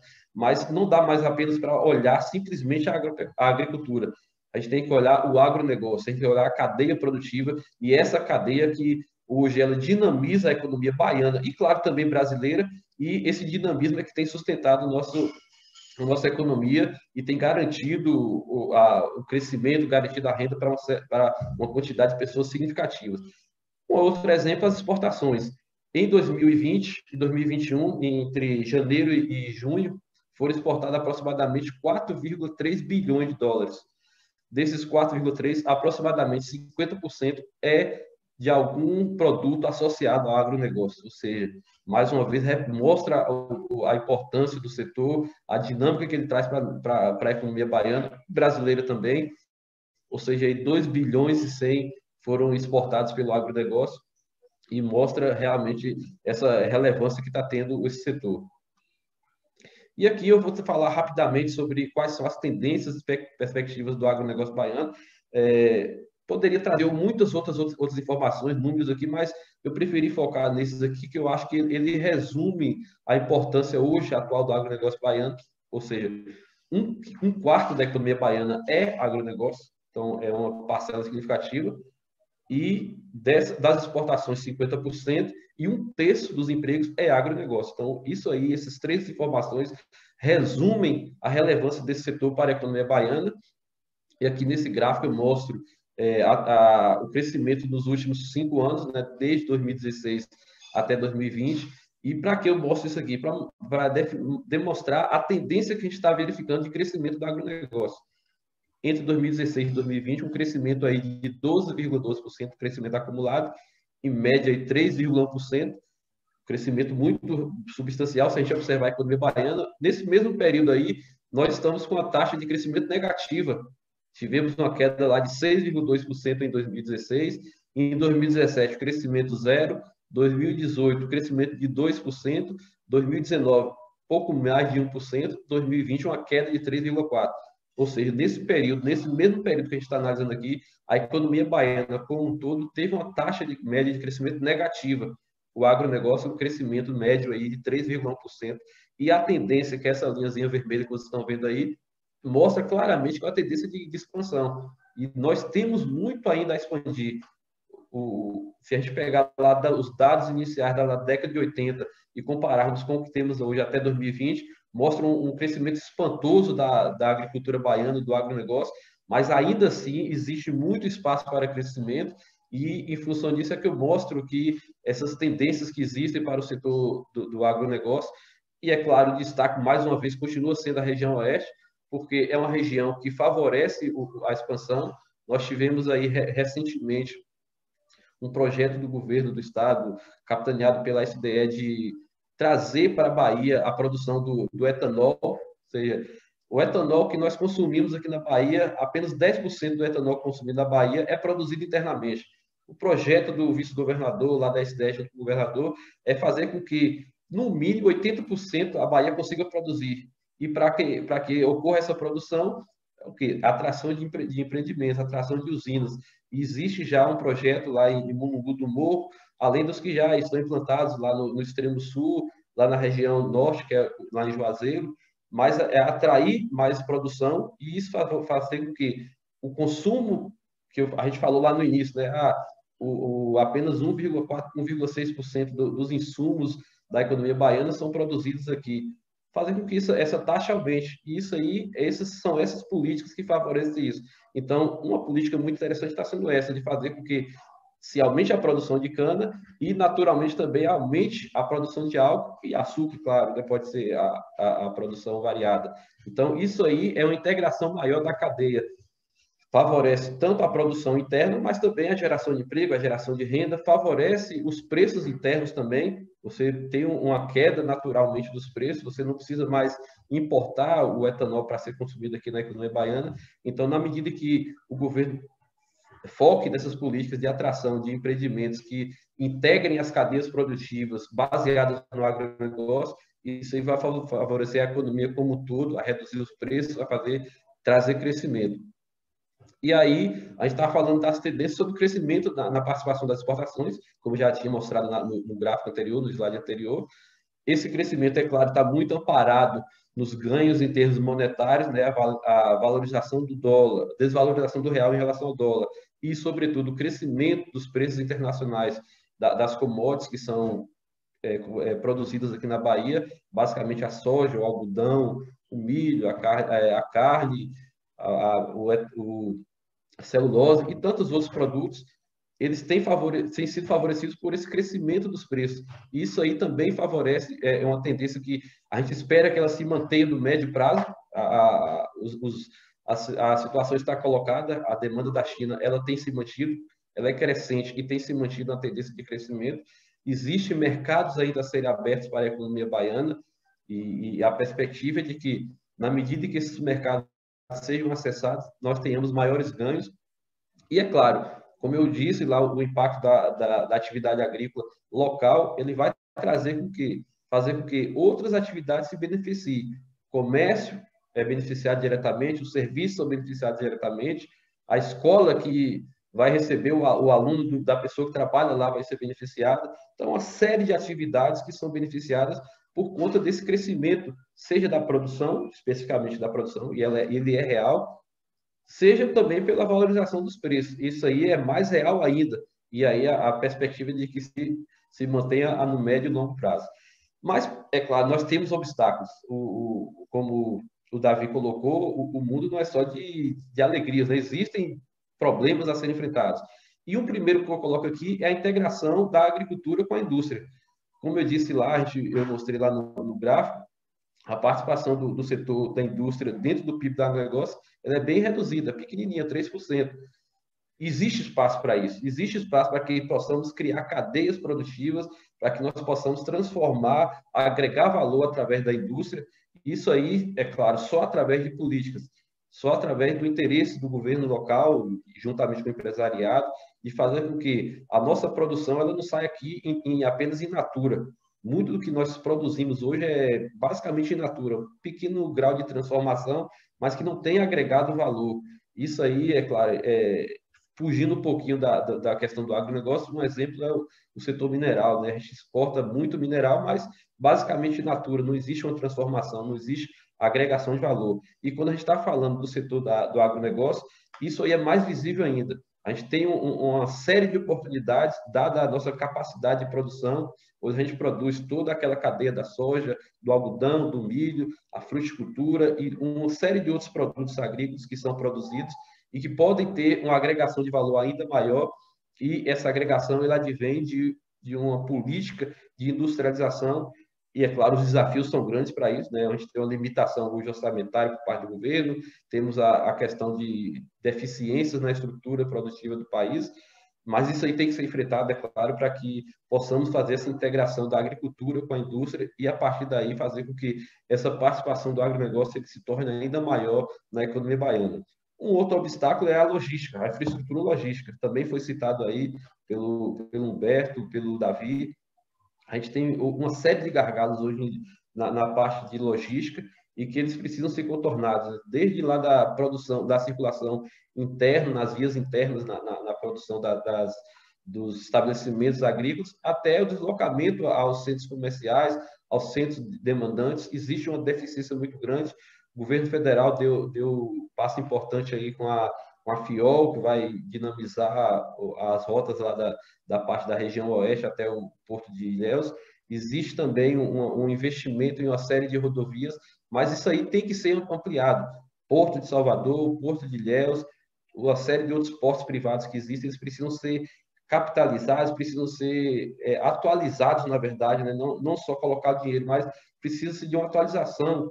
os portos mundiais hoje, os grandes portos, eles são muito modernos e a, a, os nossos portos hoje não, não comportam os grandes navios de, de, carga. Então, a gente precisa de um investimento muito grande para fazer com que essa infraestrutura ela possibilite que a nossa produção ela não só fique, é, leve mais tempo a chegar ao consumidor final, mas ela se torne mais cara. Na medida em que eu tenho um maior tempo de deslocamento, eu vou encarecendo o nosso produto e aí isso aí torna menos competitiva a produção baiana. Então, na medida que eu tenho um, modais ferroviários, rodoviários, hidroviários mais competitivos, isso aí vai aumentar a competição do nosso produto.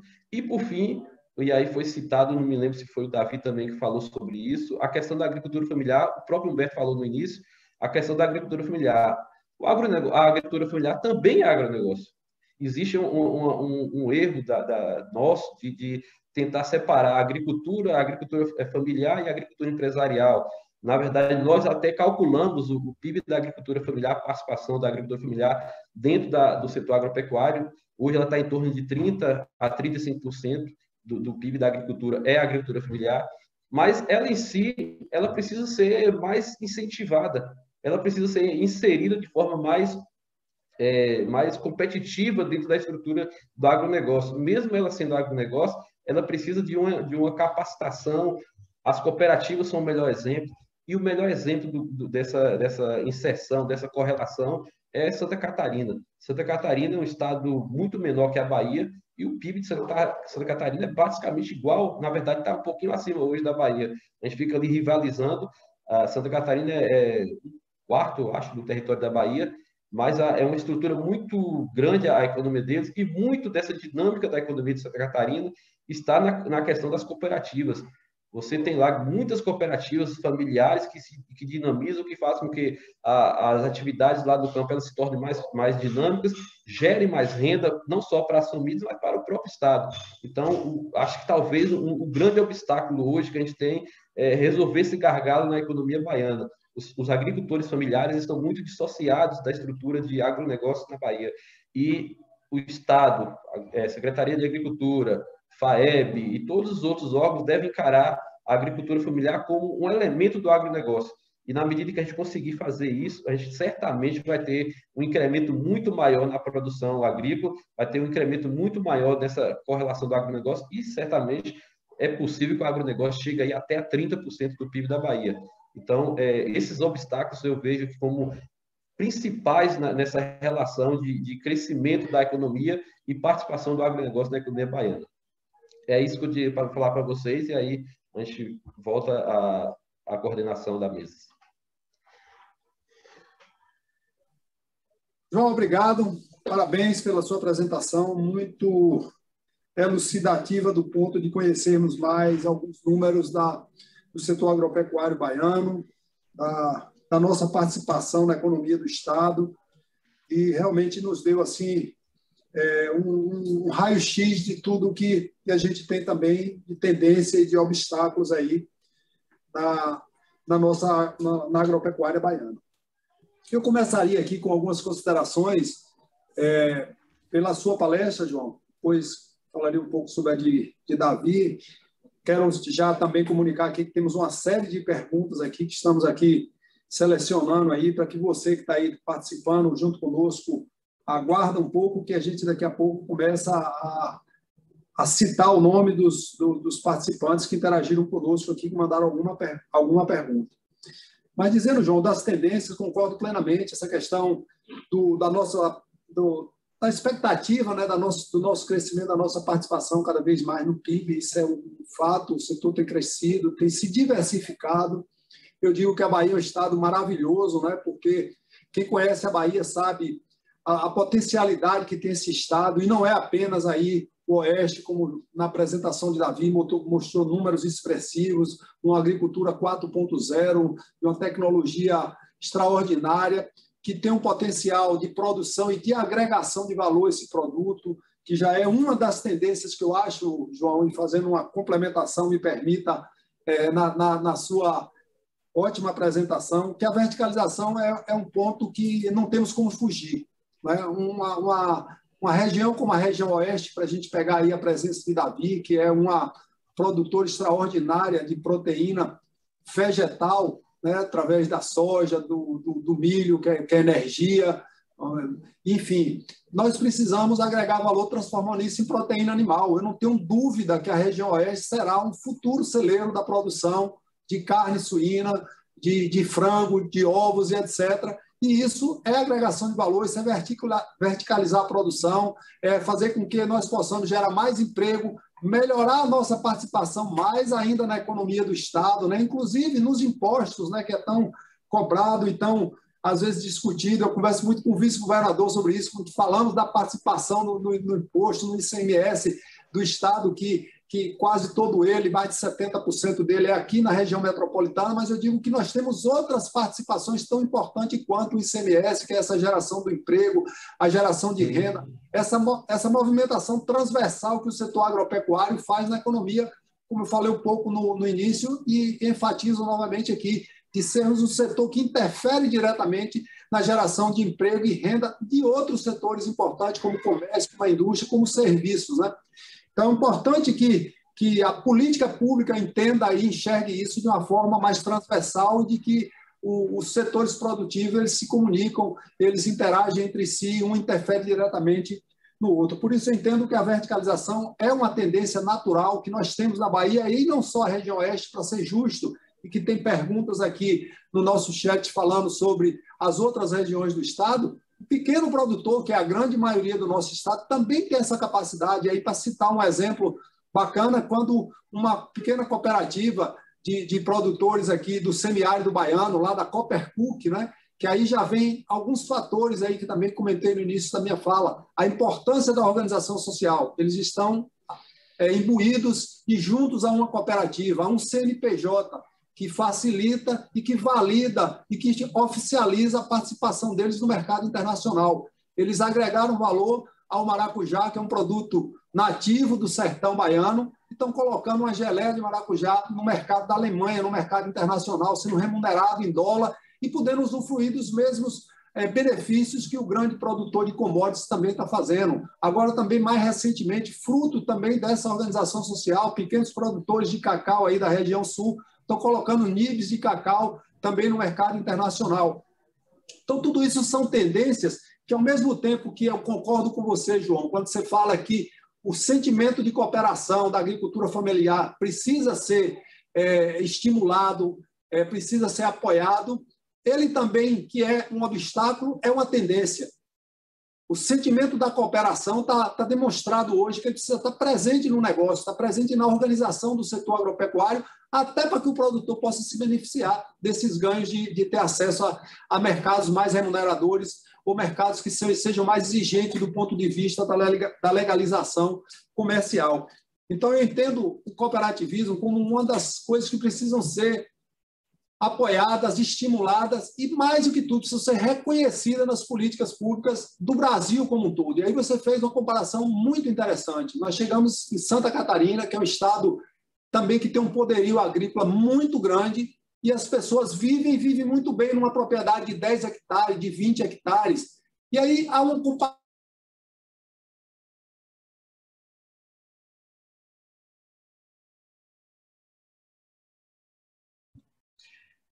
Bom, nós tivemos aí uma, uma queda de, de internet, acontece, né? Nos eventos ao vivo do nosso é, mediador, né? Humberto Miranda. Daqui a pouco ele vai voltar. Então, continuando para quando ele voltar, ele continua com as considerações sobre o tema. Eu vou então fazer uma pergunta aqui para vocês, para a gente manter o, o, a, a, o evento caminhando aqui, tá? Então vamos lá, nós temos uma pergunta aqui. Deixa eu ver aqui. Bom, temos uma pergunta de Isabel Ribeiro para é, Davi como Davi avalia aí a, a hipótese de propriedades menores acessarem os mesmos serviços, suporte técnico e tecnologias adotadas pela Schmidt Agrícola? Ah, sim, Rafael. Na verdade, a, própria questão de, de algumas tecnologias, é, elas, eu acho que elas são desenhadas para o pequeno produtor, né? Se você pegar, por exemplo, o drone, o drone, eu não vejo uma expansão de drone da aplicação aérea, né, de defensivos agrícolas, na grande propriedade. Ela vai ser desenvolvida inicialmente, ela vai crescer no Brasil nas pequenas propriedades. Né? Agora, como acessar? Ah, você vê, né, nós somos uma grande propriedade de faturamento é, é, significativo anual e nós participamos de cinco cooperativas. Né? E eu, quantas vezes eu me deparo hoje com pequenos produtores que têm resistência a, a, a, a se cooperar, entendeu? É, então, assim, a gente fica um pouco até indignado, né? Porque é, parece é engraçado, parece que é uma inversão de valor, né? O grande proprietário, ele é cooperado, o pequeno que precisa se cooperar, ele tem uma resistência à cooperativa. Né? Então, o acesso a muitas tecnologias, o acesso a muitos fornecedores, ele vai ser através da cooperação. Né? É, esse é um dos caminhos. Eu não sei como é que está a internet aí. Tá, de vez em quando dá uma falhinha também, mas acontece, é isso aí. Então, é, tem uma consideração aqui de Kátia. Obrigado, viu, Davi, por essa resposta. Eu espero que tenha sido é, respondida aí para Isabel. Tem uma pergunta que não é uma pergunta, é uma consideração de Kátia Santos, que eu vou encaminhar para João Paulo aí, é, considerar, né, como fazer uma réplica a respeito.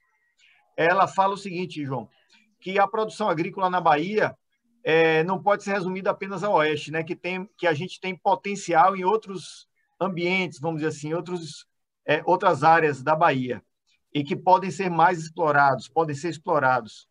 É, que ela acha também que tem que intensificar essas discussões e soluções viáveis para essa execução. Quer que considere aí sobre, por favor?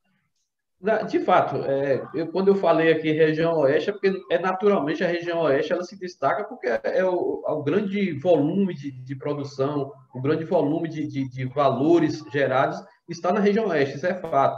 Mas é claro que a gente não pode esquecer da, das demais regiões. Mesmo a região do semiárido, ela é, é, é uma região importante que pode ser, a partir de investimentos feitos, a partir de técnicas específicas, ela pode ser uma região que gere mais valor na, no setor agrícola. Mas é claro, além da região oeste, aí tem, o, como eu citei, o extremo sul, a parte da celulose, tem a produção de algumas frutas no extremo sul, o próprio sudoeste, que tem a produção, a, a pecuária, no extremo sul também temos a pecuária, a, o baixo sul também, a região aqui nordeste do estado, ela, a parte de produções da, da, da, agricultura familiar, que ela é muito importante aqui na região norte, no, na região nordeste do estado, então, é, quando a gente fala a, é, acho que é, é, ingrato mesmo a gente falar muito da região oeste e parece que esquece das demais regiões, mas não.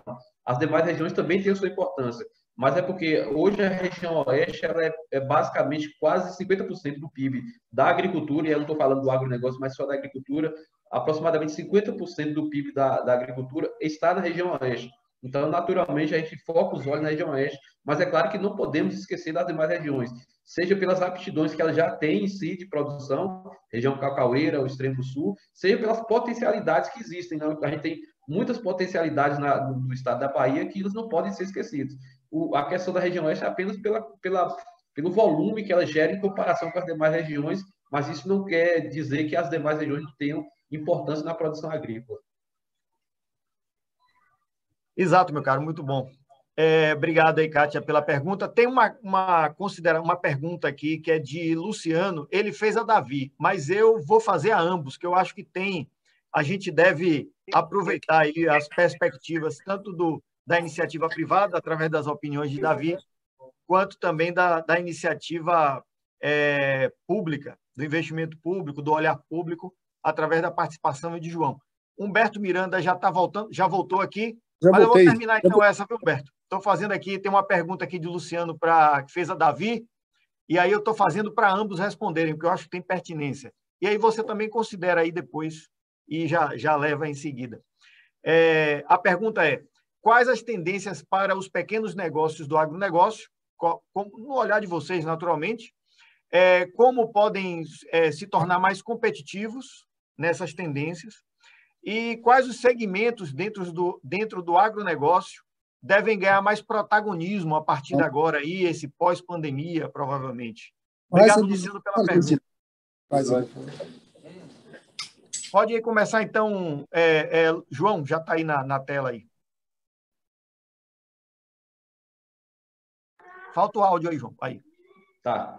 É, a tendência, a gente, a gente visualiza a tendência de que é, o pequeno negócio, sobretudo, ele existe um espaço para ele crescer. É claro que hoje a gente tem, tem um, um, os olhos muito voltados para o grande negócio, para o, o grande capital, para as, as, grandes produções, mas também existe sim espaço para que as pequenas produções, os pequenos estabelecimentos agrícolas, eles se dinamizem, eles tenham ganho de participação. E aí eu volto a, a falar sobre a questão do PIB da agricultura familiar.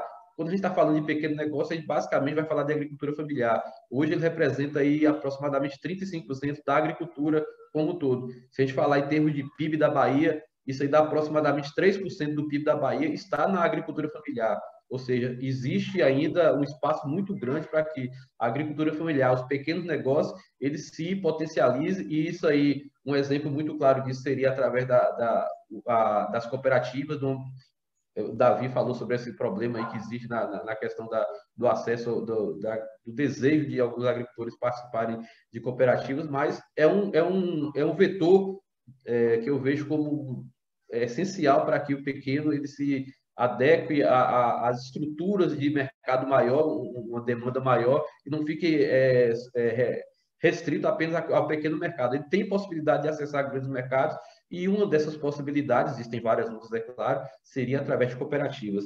É, isso aí, é claro, é, na, na, sequência, para tornar mais competitivo. Ele, naturalmente, ele se torna mais competitivo. Se ele consegue, é, via a maior, melhor financiamento, via assistência técnica mais efetiva. A gente tem muitos programas de assistência técnica, mas muitas vezes esses programas ficam apenas nos nomes, né? Ah, programa de assistência técnica da Bahia, daqui e dali, mas muitas vezes fica apenas no nome, não tem uma efetiva assistência técnica. Se houver efetivamente uma assistência técnica que visualize isso, que, que busque. Eu uh, tive uma reunião uh, recentemente, falava-se da, da questão da produção de leite na Bahia. Muito da produção de leite na Bahia é apenas por conta da, da gestação da vaca, não existe uma, uma, uma produção voltada para a grande produção em escala. Então, a assistência técnica vai fazer isso, vai fazer com que a produção ela não dependa apenas da, do, do, do período de gestação da, de lactância da, das vacas, né? mas é um, um, processo de voltar à produção em grande escala. Isso envolve também investimentos, tanto públicos quanto privados, e assistência, então é uma relação muito grande. E assim, em termos de segmentos mais importantes, eu não, eu não consigo ver esse ou aquele mais importante. Cada segmento é importante. Todos os segmentos são importantes. Cada um que está em uma atividade específica, ele é importante como, como um todo. Ele pode ter menos importância dentro, dentro do aspecto da, do, do, do volume, né, da, da, estrutura. Mas em si ele é importante, seja a produção de cebola, a produção do sisal, a produção da soja, que é o grande destaque da Bahia, todos eles são importantes. Então eu vejo nesse sentido que todos podem ter é, é, essa relevância. Então é, seja o pequeno, seja o grande produtor e seja qualquer que qualquer que seja o setor, ele é importante. É, Rafael, eu diria o seguinte, que uma tendência a, a, falando de um termo mais amplo da tendência que eu vejo, é da profissionalização. E eu não estou falando de crescimento, eu não estou falando que a propriedade ela tem que ser maior, mas ela tem que se tornar profissional. Ela tem que ter uma agregação de valor, entendeu? Então ela tem que abrir um pouco mais a cabeça, né? Por exemplo, vou dar um exemplo bem esdrúxulo aqui, né? A criação do, do proprietário pequeno que tem a criação de um porco. Ele quer vender o porco. Só que muito melhor do que você vender aquele porco é você vender o salame, a morcilha, a, a, as partes do porco, o lombinho, tudo. É você fazer a, a e, e, com brechas, inclusive, né, que algumas novas leis surgiram de 2017 para cá, da questão da, da, da, da, da agroindustrialização, né, a, com selo arte, entendeu? Então, eu me lembro de uma, de uma vez um, um produtor da, do, de queijo da Serra da Canastra virou para mim e falou o seguinte: é, eu, eu, descobri quanto é que vendia o meu queijo no aeroporto de Salvador. Né, ele vendia o queijo dele a 15 reais, parece, o quilo, alguma coisa assim, ou a peça, não me lembro agora. Ele falou que chegava no aeroporto de Salvador a 150 reais, a 120 reais, uma coisa assim. Quando ele descobriu isso, sabe o que ele fez? Ele voltou para a propriedade dele, disse que vendeu metade do rebanho e falou: agora quem vai vender o meu queijo sou eu. Né? Eu vou fazer a minha produção, eu vou produzir o meu, meu queijo da Serra da Canastra e eu vou vender o meu, meu queijo da Serra da Canastra. Trocando em miúdos, ele está trabalhando muito menos e ganhando muito mais dinheiro. Né? O que, que ele fez? É que ele cresceu? Não, ele diminuiu. Ele diminuiu e agregou valor. Ele diminuiu e, e, e teve um, um, incremento de margem na, na sua produção. Então, é, é, isso que eu falo. Eu acho que a tendência, na verdade, é é pessoas que vão, vão conseguir atender ao agro, né, e vão ser do agro é, pessoas que pensem é, em uma visão de negócio, né, do agronegócio. Como eu falei, eu não quero saber se ele é uma, se só quem trabalha lá é a, é a família, se, se ele é um pequeno proprietário que tem um funcionário, se ele tem cinco, se ele tem dez, ou se ele é uma grande empresa, né? Se ele não tiver essa mentalidade, né, de buscar apoio tecnológico, apoio de gestão, né? E o Senar está aí para isso, o Sebrae está aí para isso, né? Que isso são tudo de forma gratuita, né? Eu esqueci até de comentar, mas eu faço parte do Sescop, né? Que é do sistema de, de ensino da, das cooperativas da Bahia. Né? E a pessoa não começar a ter uma visão em que você pode ser grande sendo pequeno através de um agrupamento cooperativista, associativista, entendeu? A tendência é que o mercado vai te expulsar de lá. Né? Então, assim, é, é, é infelizmente, o, o, o, meio ambiente e o mercado ele é voraz. Né? Você tem que correr atrás e se profissionalizar. Né? Então, é, é primeiro é isso. Né? Eu acho que a pessoa ela tem que ter uma visão é, de negócio. Ele tem que entender o que ele está fazendo. Oportunidade. Aí vem. Hoje você tem, desde 2017, a possibilidade do selo arte. Isso não é para o grande, ele é para o pequeno. Né? Hoje, quando você pensa em agregação de valor, muitas vezes você está pensando na pequena propriedade, porque a agregação de valor da grande propriedade ela já existe. Né? Ela já tem uma Cargill, ela já tem uma Bung, uma Olan, que faz aquisição grandes fiadoras. Mas quando você pensa na fruticultura, na mandiocultura, a, na produção do leite propriamente dito, eu conheci uma propriedade no já era do lado, do lado de São Francisco, próximo de Botirama, ali, Sítio do Mato, se não me falha a memória, de um proprietário chamado Kim, que inclusive participou, eu vi aí a questão de, de fomento, né, da lista produtiva da, da, do projeto do SDR. É, ele é, inclusive hoje tem uma unidade de referência lá. O cara tem duas hectares e meia e fatura é, é coisa de 10, 15 salários mínimos por mês, com duas hectares e meia, através do que? Agregação de valor. Ele mesmo hoje está, ele já está é, é, é, sistema de inspeção municipal na produção do queijo dele.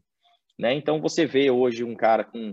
Ele tinha 45, já vendeu 15, parece que a propriedade está com 30 hectares, tem duas hectares e meia de pastagem irrigada no semiárido, tá? Nós não estamos falando de uma região que chove, né?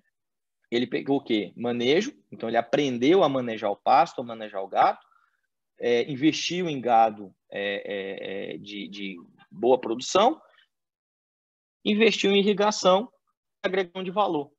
Hoje o cara com 5, 10 hectares, ele vai viver bem.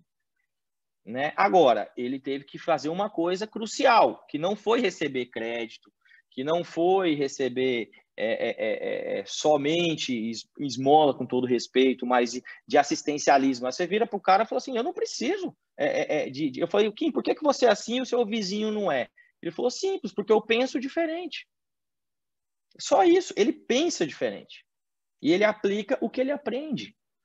Então, assim, muitas vezes a, a solução, ele não está fora, ele não está no governo, ele não está necessariamente. Claro que aqui, quando a gente fala de Sebrae, fala de FAEB aqui, de Senar, a gente está falando de capacitação, de mudar a cabeça. Mas a solução muitas vezes está na cabeça do produtor.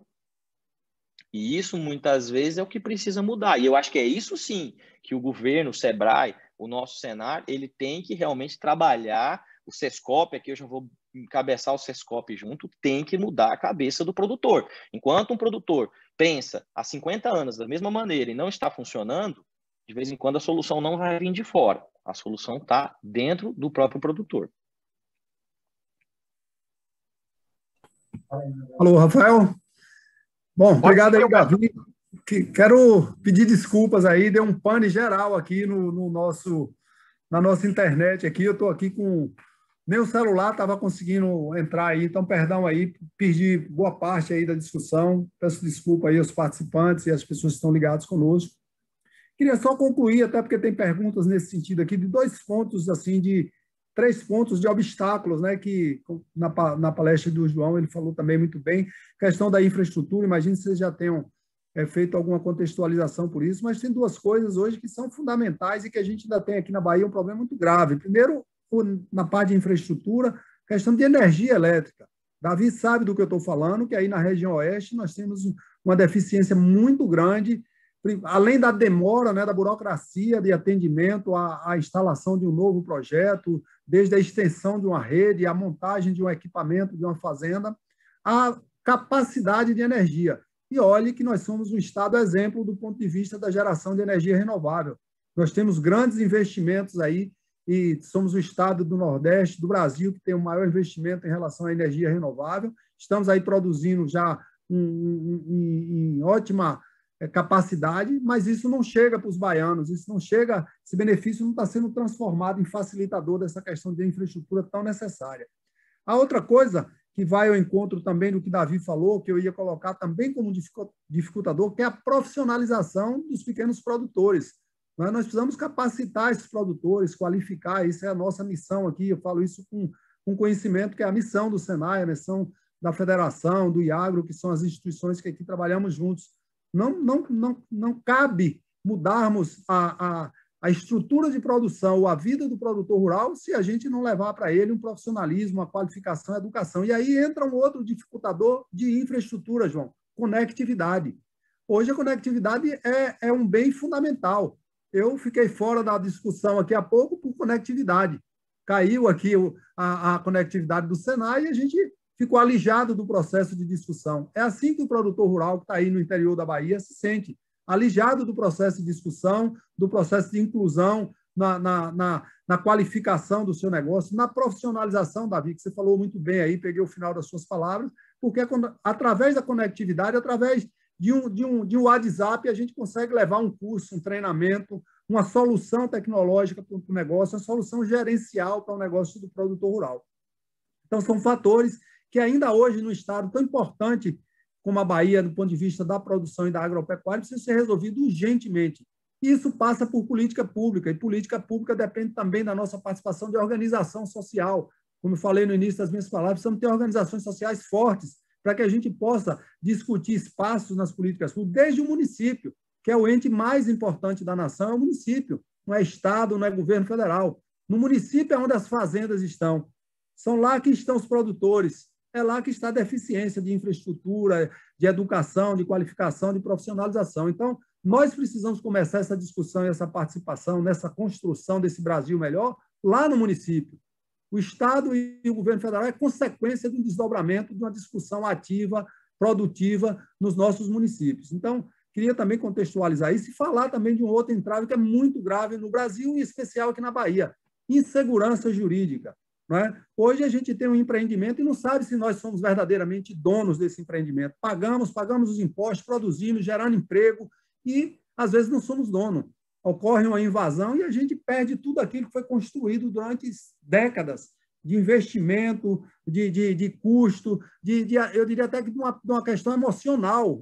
Propriedades são passadas de, de, de avô para pai, para filho, chega na nossa mão e acontece uma invasão seja de índio, seja de sem terra, isso precisa acabar. Nós precisamos dar um corte nisso aí. E aí respondo uma, uma pergunta também que foi colocada no chat aí, me parece que é, Marbelle Quadros, uma pergunta muito correta, diz passagem de uma região que vem sofrendo muito, que é a região de Itapetinga, com essa insegurança jurídica, uma região que é chamada capital do, do, do, gado de corte, terra firme gado forte, que tem um dos maiores rebanhos do estado da Bahia, e hoje os produtores estão inseguros sem saber se podem continuar investindo na, na, na, na pecuária de corte, uma atividade importante que hoje está acessando mercados, porque tem um processo de demarcação de terras indígenas que cada dia tem uma interpretação ideológica que muda o entendimento da lei.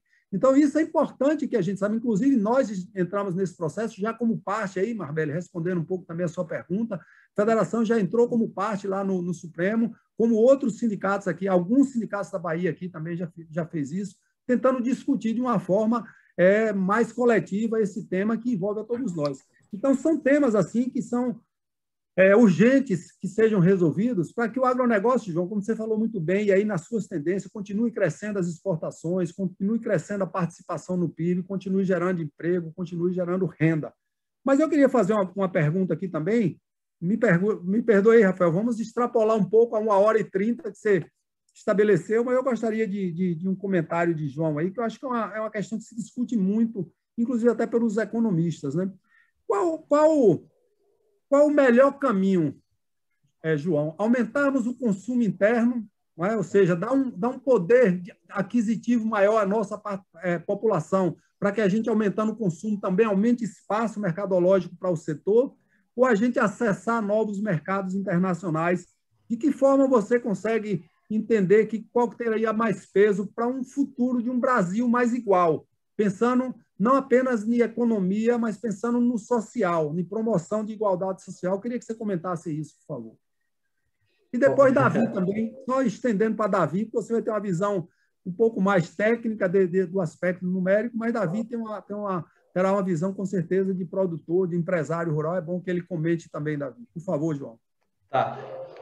É, é, é, bem difícil essa pergunta, né? Na verdade, é bem complicada, porque é, se a gente olhar do ponto de vista da, da equidade social, a gente, o, o, desejo é que você tenha uma, uma, uma distribuição, de, de, de, seja da produção, seja da renda gerada, de forma mais igualitária.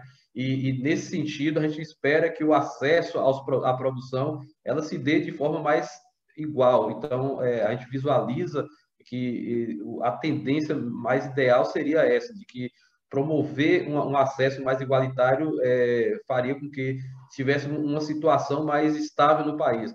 Por outro lado, a gente não pode deixar de olhar também a questão do produtor. Gente, o, o, produtor, é, ele é como qualquer é, empresário, seja qualquer for ramo, ele visa o lucro também, ele visa as oportunidades. E se eu tenho uma oportunidade melhor lá fora do que aqui dentro, é claro que, do ponto de vista meu e como produtor, eu vou, a minha tendência é de que é, eu, eu, priorize o mercado externo. É, a, quando a gente é, se, é, se debruça sobre alguma atividade econômica, a gente não olha só o lado social, a gente olha lá o lado pessoal também, o lado do lucro, o lado do, da razão. É, e aí, nesse sentido, é claro que você voltar-se para fora é o, é o mais ideal. Assim, então, do ponto de vista, se você tem um governo que ele está ali para administrar essas, esses trade-offs, né, na verdade, do ponto de vista da economia. Isso é um trade-off, ou eu priorizo a, a produção para o mercado interno, para que ele seja mais acessível a toda a população, ou eu priorizo o mercado externo, porque isso aí vai gerar ganhos para o produtor, e, de certa forma, esses ganhos vão se disseminar pelos seus, pelos seus participantes na produção. Então, o, o, o governo, a, a, aquele que está centralizado, que tá, detém essa política, eu acho que ele deve ponderar. Não, não, deve ser nem 8 nem 80. Ele deve ponderar. Claro que o, o, o empresário ele vai estar tá visualizando o seu lucro. É claro que eu, enquanto ator social, eu, enquanto população, estou é, querendo um melhor acesso. Eu quero que a carne seja mais barata. Há algum tempo a, gente, a população reclamando do, do, da evolução do preço da, das carnes, porque está mais cara, porque está uma menor oferta interna, porque está exportando muito para a China. Esse é um exemplo claro que você tem que ver esse trade-off. Manter um equilíbrio na oferta interna, porque se eu elevar demais o preço da carne, eu praticamente eu tiro uma parcela significativa da população de ter acesso à carne, mas, por outro lado, o, o, o empresário vai estar ganhando mais. E aí, uma parte desse ganho vai se, se redistribuir dentro da nossa economia. Então, na verdade, é, eu, minha visão enquanto economista é que gente, o governo, não só o governo, mas todos os atores, devem visualizar um equilíbrio, não, não apenas um trade-off, eu escolho esse em detrimento daquele, mas eu devo tentar equilibrar manter o ganho do empresário, porque ele quer ganhar, porque lá fora está melhor para ele, mas também olhar pelo lado do, do da, da, demanda interna, pelo lado social, pelo lado da equidade e tentar fazer esse equilíbrio. Eu acho que é mais, mais nesse sentido, não, não apenas focar em um, esquecer um lado e olhar só para o outro e, e vice-versa. Tem que tentar é, fazer um equilíbrio, uma balança. Obrigado, João. Fica aí, Davi. O que, é que você acha aí é, eu acho que, que, primeira coisa, eu acho que o mercado ele se regula, né? Eu acho que o, o João ele foi muito assertivo nisso. Eu tenho medo de ficar mexendo com o mercado, pressionando o mercado, porque ah, eu vou, vou, botar o caso da soja, né? Você não consegue consumir toda a soja que se produz dentro do mercado interno. Então, inevitavelmente, a exportação ela é uma necessidade. Né? Imagina que você tranca o mercado externo. Claro que eu estou fazendo uma só uma hipótese aqui para evidenciar, né? Todo o nosso insumo, pelo menos 80% do nosso insumo da soja hoje, o grosso, ele vai ser em dólar, né? Então, tudo o mercado mundial hoje ele se acompanha. O que nós temos, melhor coisa para você viabilizar, para você democratizar o acesso ao alimento é produzir muito. Entendeu? No momento que você viabiliza a produção, que você é, é, aumenta a quantidade de produtores ou a quantidade de produtividade por produtor, né, intensifica a produção a, a agropecuária, você vai reduzir custo no, na gôndola do supermercado. Né? Então, não tem como democratizar o alimento.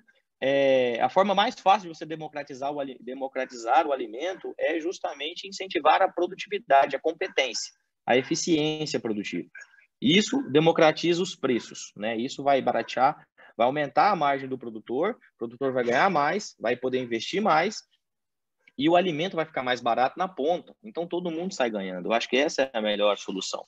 É, e a questão, aí falando de mercado interno, a gente vê muita questão da agregação de valor. Volta a falar de agregação de valor, inclusive como tendência, a, a, lá em cima, o pessoal falou muito de tendência de mercado, e eu acabei me focando muito na parte de profissionalização, mas existe a questão é, é, é, de agregação de valor, a logística. Né, gente, a logística ela é um, uma coisa que todo mundo tem que ter na cabeça. A grande diferença da, da urbana é, que você tem lá, pega a grande São Paulo, né? Se você pegar uma das maiores cidades do mundo, que se chama a grande São Paulo, você tem o quê? 300 quilômetros, né? O oeste da Bahia, vou falar do oeste, a região que eu conheço, tem 600 quilômetros, né? E de vez em quando você tá lá na ponta de São Paulo, um cara de uma ponta não entrega na outra. E quando você fala do Bahia, que tem 600 quilômetros de extensão, meu amigo, o produto tem que sair de um canto e chegar no outro. Todo canto ali tem que ser atendido com combustível, com pesca, com serviço, com ônibus, com alimentação. Tudo tem que chegar lá e tudo tem que sair de lá. E aí, quando você vai agora para outra produção, quando vai para fruta, vai para o sul da Bahia, aí você está falando de pequenas propriedades, ou até mesmo Chapada, ali no centro, né? Aí você está falando de quê? Que o alface tem que sair de lá, tem que chegar em Salvador, o morango tem que sair de lá, tem que chegar em Salvador. E como é que você faz isso de uma forma eficiente, aonde você consiga agregar valor no produto, remunerar melhor o produtor rural? É por que, que eu fico falando remunerar melhor o produtor rural? Porque você quer inovar, né? Você tem que pagar melhor para o produtor. No momento que você fala, a minha empresa operadora logística, a minha solução tecnológica, o meu aplicativo, ele vai poder pagar 10 centavos a mais no seu produto agrícola, você vai ter uma preferência natural de mercado. Tendo essa preferência natural de mercado, você passa a ser competitivo no mercado. Você vai ter, um mentante né, nesse mercado é, do, do agronegócio, é, é, onde você vai ter um diferencial. E você vai conseguir fazer isso de uma forma mais eficiente, que o produto, de vez em quando, vai chegar com o mesmo preço lá na ponta, né? ou, quem sabe, mais barato. Então, você vai ter um diferencial nas duas pontas. Né? Então, a, a parte logística, quando a gente. Muitas das soluções, quando o pessoal fala de e-commerce rural, é, todo mundo pensa no aplicativo e esquece da logística. Esquece que não basta você aplicar lá, comprar, que você não tem um motoboy que vai lá buscar o alface é, propriedade por propriedade, ou pelo menos ninguém conseguiu bolar uma solução né, inteligente que você consiga fazer o escoamento logístico dessa pequena propriedade e fazer isso chegar na gôndola ou até mesmo diretamente na mesa uh, do, do, do consumidor dentro das grandes cidades de uma forma inteligente, barata. Então, assim, a tendência da logística, né, isso aí pegar valor do produto, seja para exportação, é, mas principalmente para o mercado interno. Né? Então, a agregação de valor e a operação logística isso tudo abarcado ou matriciado com tecnologia, é, seja web, aplicativos, inteligência artificial, é, inteligência logística, georreferenciada. É, gente, isso aí existe uma oportunidade nisso aí.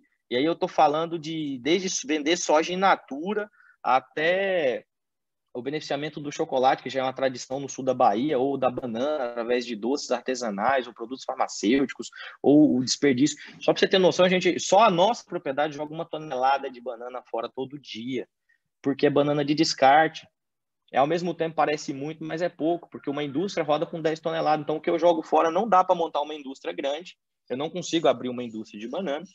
E, ao mesmo tempo, é, é banana suficiente para uma cooperativa de, de, de, de, produção artesanal de doce. Eu só preciso de 20 pessoas para que consuma a, a, a, que monte a cooperativa e comece a consumir esse, esse desperdício. Desperdício não porque a gente acaba fazendo compostagem, mas poderia ser um negócio novo, né? Então, assim, temos que ser criativos, gente. A gente tem que gatilho mental. Acho que a Ivane falou aqui, inclusive botei os contatos aqui que, que a me pediu aqui no chat, tá? Os contatos estão aqui, Instagram e telefone. É, vamos mudar esse gatilho mental aí do pessoal, que eu tenho certeza que o pessoal vai inovar e vai buscar mais soluções. Obrigado. Eu comentava aqui com os amigos que estão aqui no apoio, dizendo que a gente tem tema aí para ficar aqui, Rafael, mais uma hora, viu? Porque a gente vai lembrando, tinha uma coisa que eu queria comentar aqui, a questão como uma tendência e uma oportunidade, a questão da mineração que nós temos aqui no Brasil, é, no nosso subsolo, uma série de micro e macro elementos que são fundamentais para os insumos agropecuários, que hoje está caríssimo, né? e que vem quase tudo importado da China e de outros países. Enfim, tem muita coisa. Eu vou sugerir o Sebrae que depois marque outro para a gente continuar aí, né, João? E Davi aí discutindo, que tem muito mais coisa para a gente falar aí. Mas de minha parte aí agradecer aí a João, a Davi, excelente colocações de vocês aí, muito muito boa participação de vocês. Parabenizar mais uma vez o Sebrae aí, muito bacana aí essa, essa iniciativa do Sebrae. E eu fico também orgulhoso do, de terem me escolhido aqui para participar de uma discussão que a gente aprende muito aqui com as pessoas que estão aqui, inclusive com os nossos participantes aí que fizeram também muitas perguntas aí interessantes. Queria aproveitar aí, agradecendo a oportunidade aí, só para saudar que estou vendo aí presença de Dona Carminha Nício, que é lá da região oeste, nossa vice-presidente aqui da federação. Em nome dela, saudar todas as mulheres aí que estão participando aí dessa discussão aí, que opinaram, que questionaram, e devolver a palavra para você, Rafael, parabenizando mais uma vez toda a equipe do Sebrae aí por essa iniciativa. Um grande abraço aí a todos. Pois então, muito obrigado a vocês. Nós tivemos aí, então, com a presença as considerações sobre o, as discussões sobre os desafios, as oportunidades e o futuro do agronegócio na Bahia, com nossos convidados, com João Paulo Caetano, que é coordenador de contas regionais e finanças públicas da Superintendência de Estudos Econômicos e Sociais da Bahia. João Paulo Caetano, muito obrigado é, pela sua presença aqui mais uma vez. É, bem, bem é, boa volta, espero que você volte no, no, no, no próximo evento. Se você quiser, vou abrir aqui para você fazer umas considerações finais aí. E muito obrigado mais uma vez. Tá, eu que agradeço, Rafael, pela oportunidade. Na verdade, mais do que fazer uma apresentação, eu aprendi muita coisa aqui com o Davi, com o Humberto e todos que contribuíram de alguma forma, mais do que qualquer apresentação que eu tenha exposto. Foi um, foi um aprendizado para mim e é claro que eu me disponibilizo a outras discussões, a gente está sempre trabalhando é, recentemente eu estou lá numa discussão lá com a Bárbara lá da FAEB, o Humberto deve saber quem é, para fazer alguns estudos de, de, de produtos da, da, agropecuária, alguns estudos específicos. Então, é, eu, claro que me disponho aqui, quando for possível, alguma outra oportunidade, estar é, contribuindo de alguma forma para esse, esses eventos e para o conhecimento. Ok, meu caro, muito obrigado mais uma vez. E nós tivemos também com o Davi Schmidt, que é sócio-diretor administrativo do Grupo Schmidt Agrícola. Davi, então, muito obrigado mais uma vez pela sua presença aqui, muito obrigado e espero que você volte também numa próxima. Rafael, fico à disposição de participar, agradeço o convite aí é, do Sebrae aí, pessoal do Senar, que sempre é parceiro nosso aqui nos nossos, nossos projetos aqui no Bahia eu vou, eu vou, acho que eu vou começar a produzir em outra região, porque a gente fica falando do oeste. O povo fica falando do oeste, mas não é que eu produzo no oeste. começar a produzir lá no norte da Bahia, viu, Humberto? Vou arranjar um que é Eduardo lá, porque agora eu vou falar oeste e. E o norte da Bahia, é dar certo, gente. Bahia toda é, é, por onde a gente passa, assim, ó, a gente vê oportunidade atrás de oportunidade é, é, é em todas as cadeias produtivas, é, ovinicultura, é, fruticultura, sojicultura, grãos, fibra, pecuária, entendeu? É que muitas vezes, realmente, como eu falo, que a gente tem que mudar a forma de pensar, né? Você vê para o pessoal do sul da Bahia, você vê hoje um, um, um desenvolvimento vindo do Espírito Santo, quando deu a seca lá, começou a subir, é, revolucionando aí a, a, produção aí no, no, no, extremo sul, entendeu? E de vez em quando é a forma de pensar, é, de vez em quando é muito agarrada à cultura aí, que eu acho que a gente tem que dar uma chacoalhada, aproveitar essas crises para se dar uma chacoalhada, né, e tentar buscar novas maneiras de pensar. E com certeza o Sebrae e o Senar são, é, e o Sescop também, vou botar aqui, como eu falei, à, à disposição, é, são entidades aí que vão encabeçar essa mudança, né, são, são pilares fundamentais aí dessa mudança é, é, de visão, né, e, e facilitadores aí a, desse, desse novo futuro. Beleza, Rafael? Eu agradeço mais uma vez o convite, estou à disposição. Podem entrar em contato pelo WhatsApp, pelo telefone ou Instagram que a gente deixou aí. Ok, obrigado mais uma vez, Davi. Muito obrigado mesmo. Então, conferimos também é, e agradecemos aqui a presença de Humberto Miranda, que é, é presidente da Federação da Agricultura e Pecuária da Bahia, é presidente do Conselho de Administração do Serviço Nacional de Aprendizagem Rural Bahia e também é vice-presidente do Conselho Deliberativo Estadual do Sebrae Bahia, Humberto Miranda, que também nos honrou aqui com, é, com é, mediando o painel. Muito obrigado aí pela sua presença mais uma vez aqui. Obrigado, Rafael. Agradecer aí, como disse, agradecer aí a da participação de Davi, de João Paulo, as pessoas que participaram junto conosco e, sem me alugar, parabenizar mais uma vez aí o Sebrae pela iniciativa. Um grande abraço aí, uma boa noite a todos.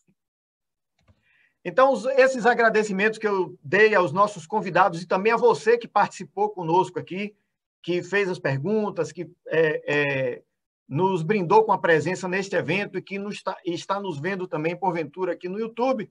É, os agradecimentos vão em nome da Fé Comércio, da FAEB, da FIEB, da FCDL e da FACEB. Muito obrigado, então, mais uma vez. Ainda temos agenda é, para o dia 13 do 7 e para o dia 15 do 7 falando sobre economia criativa e turismo e startups. Caso você ainda não tenha se inscrito, inscreva-se aqui no nosso link, no nosso formulário, é, acessando o link bit.ly com y barra Encontros Empresariais 2021, com iniciais maiúsculas. Então, inscreva-se aqui e caso e siga o Sebrae Bahia nas redes sociais.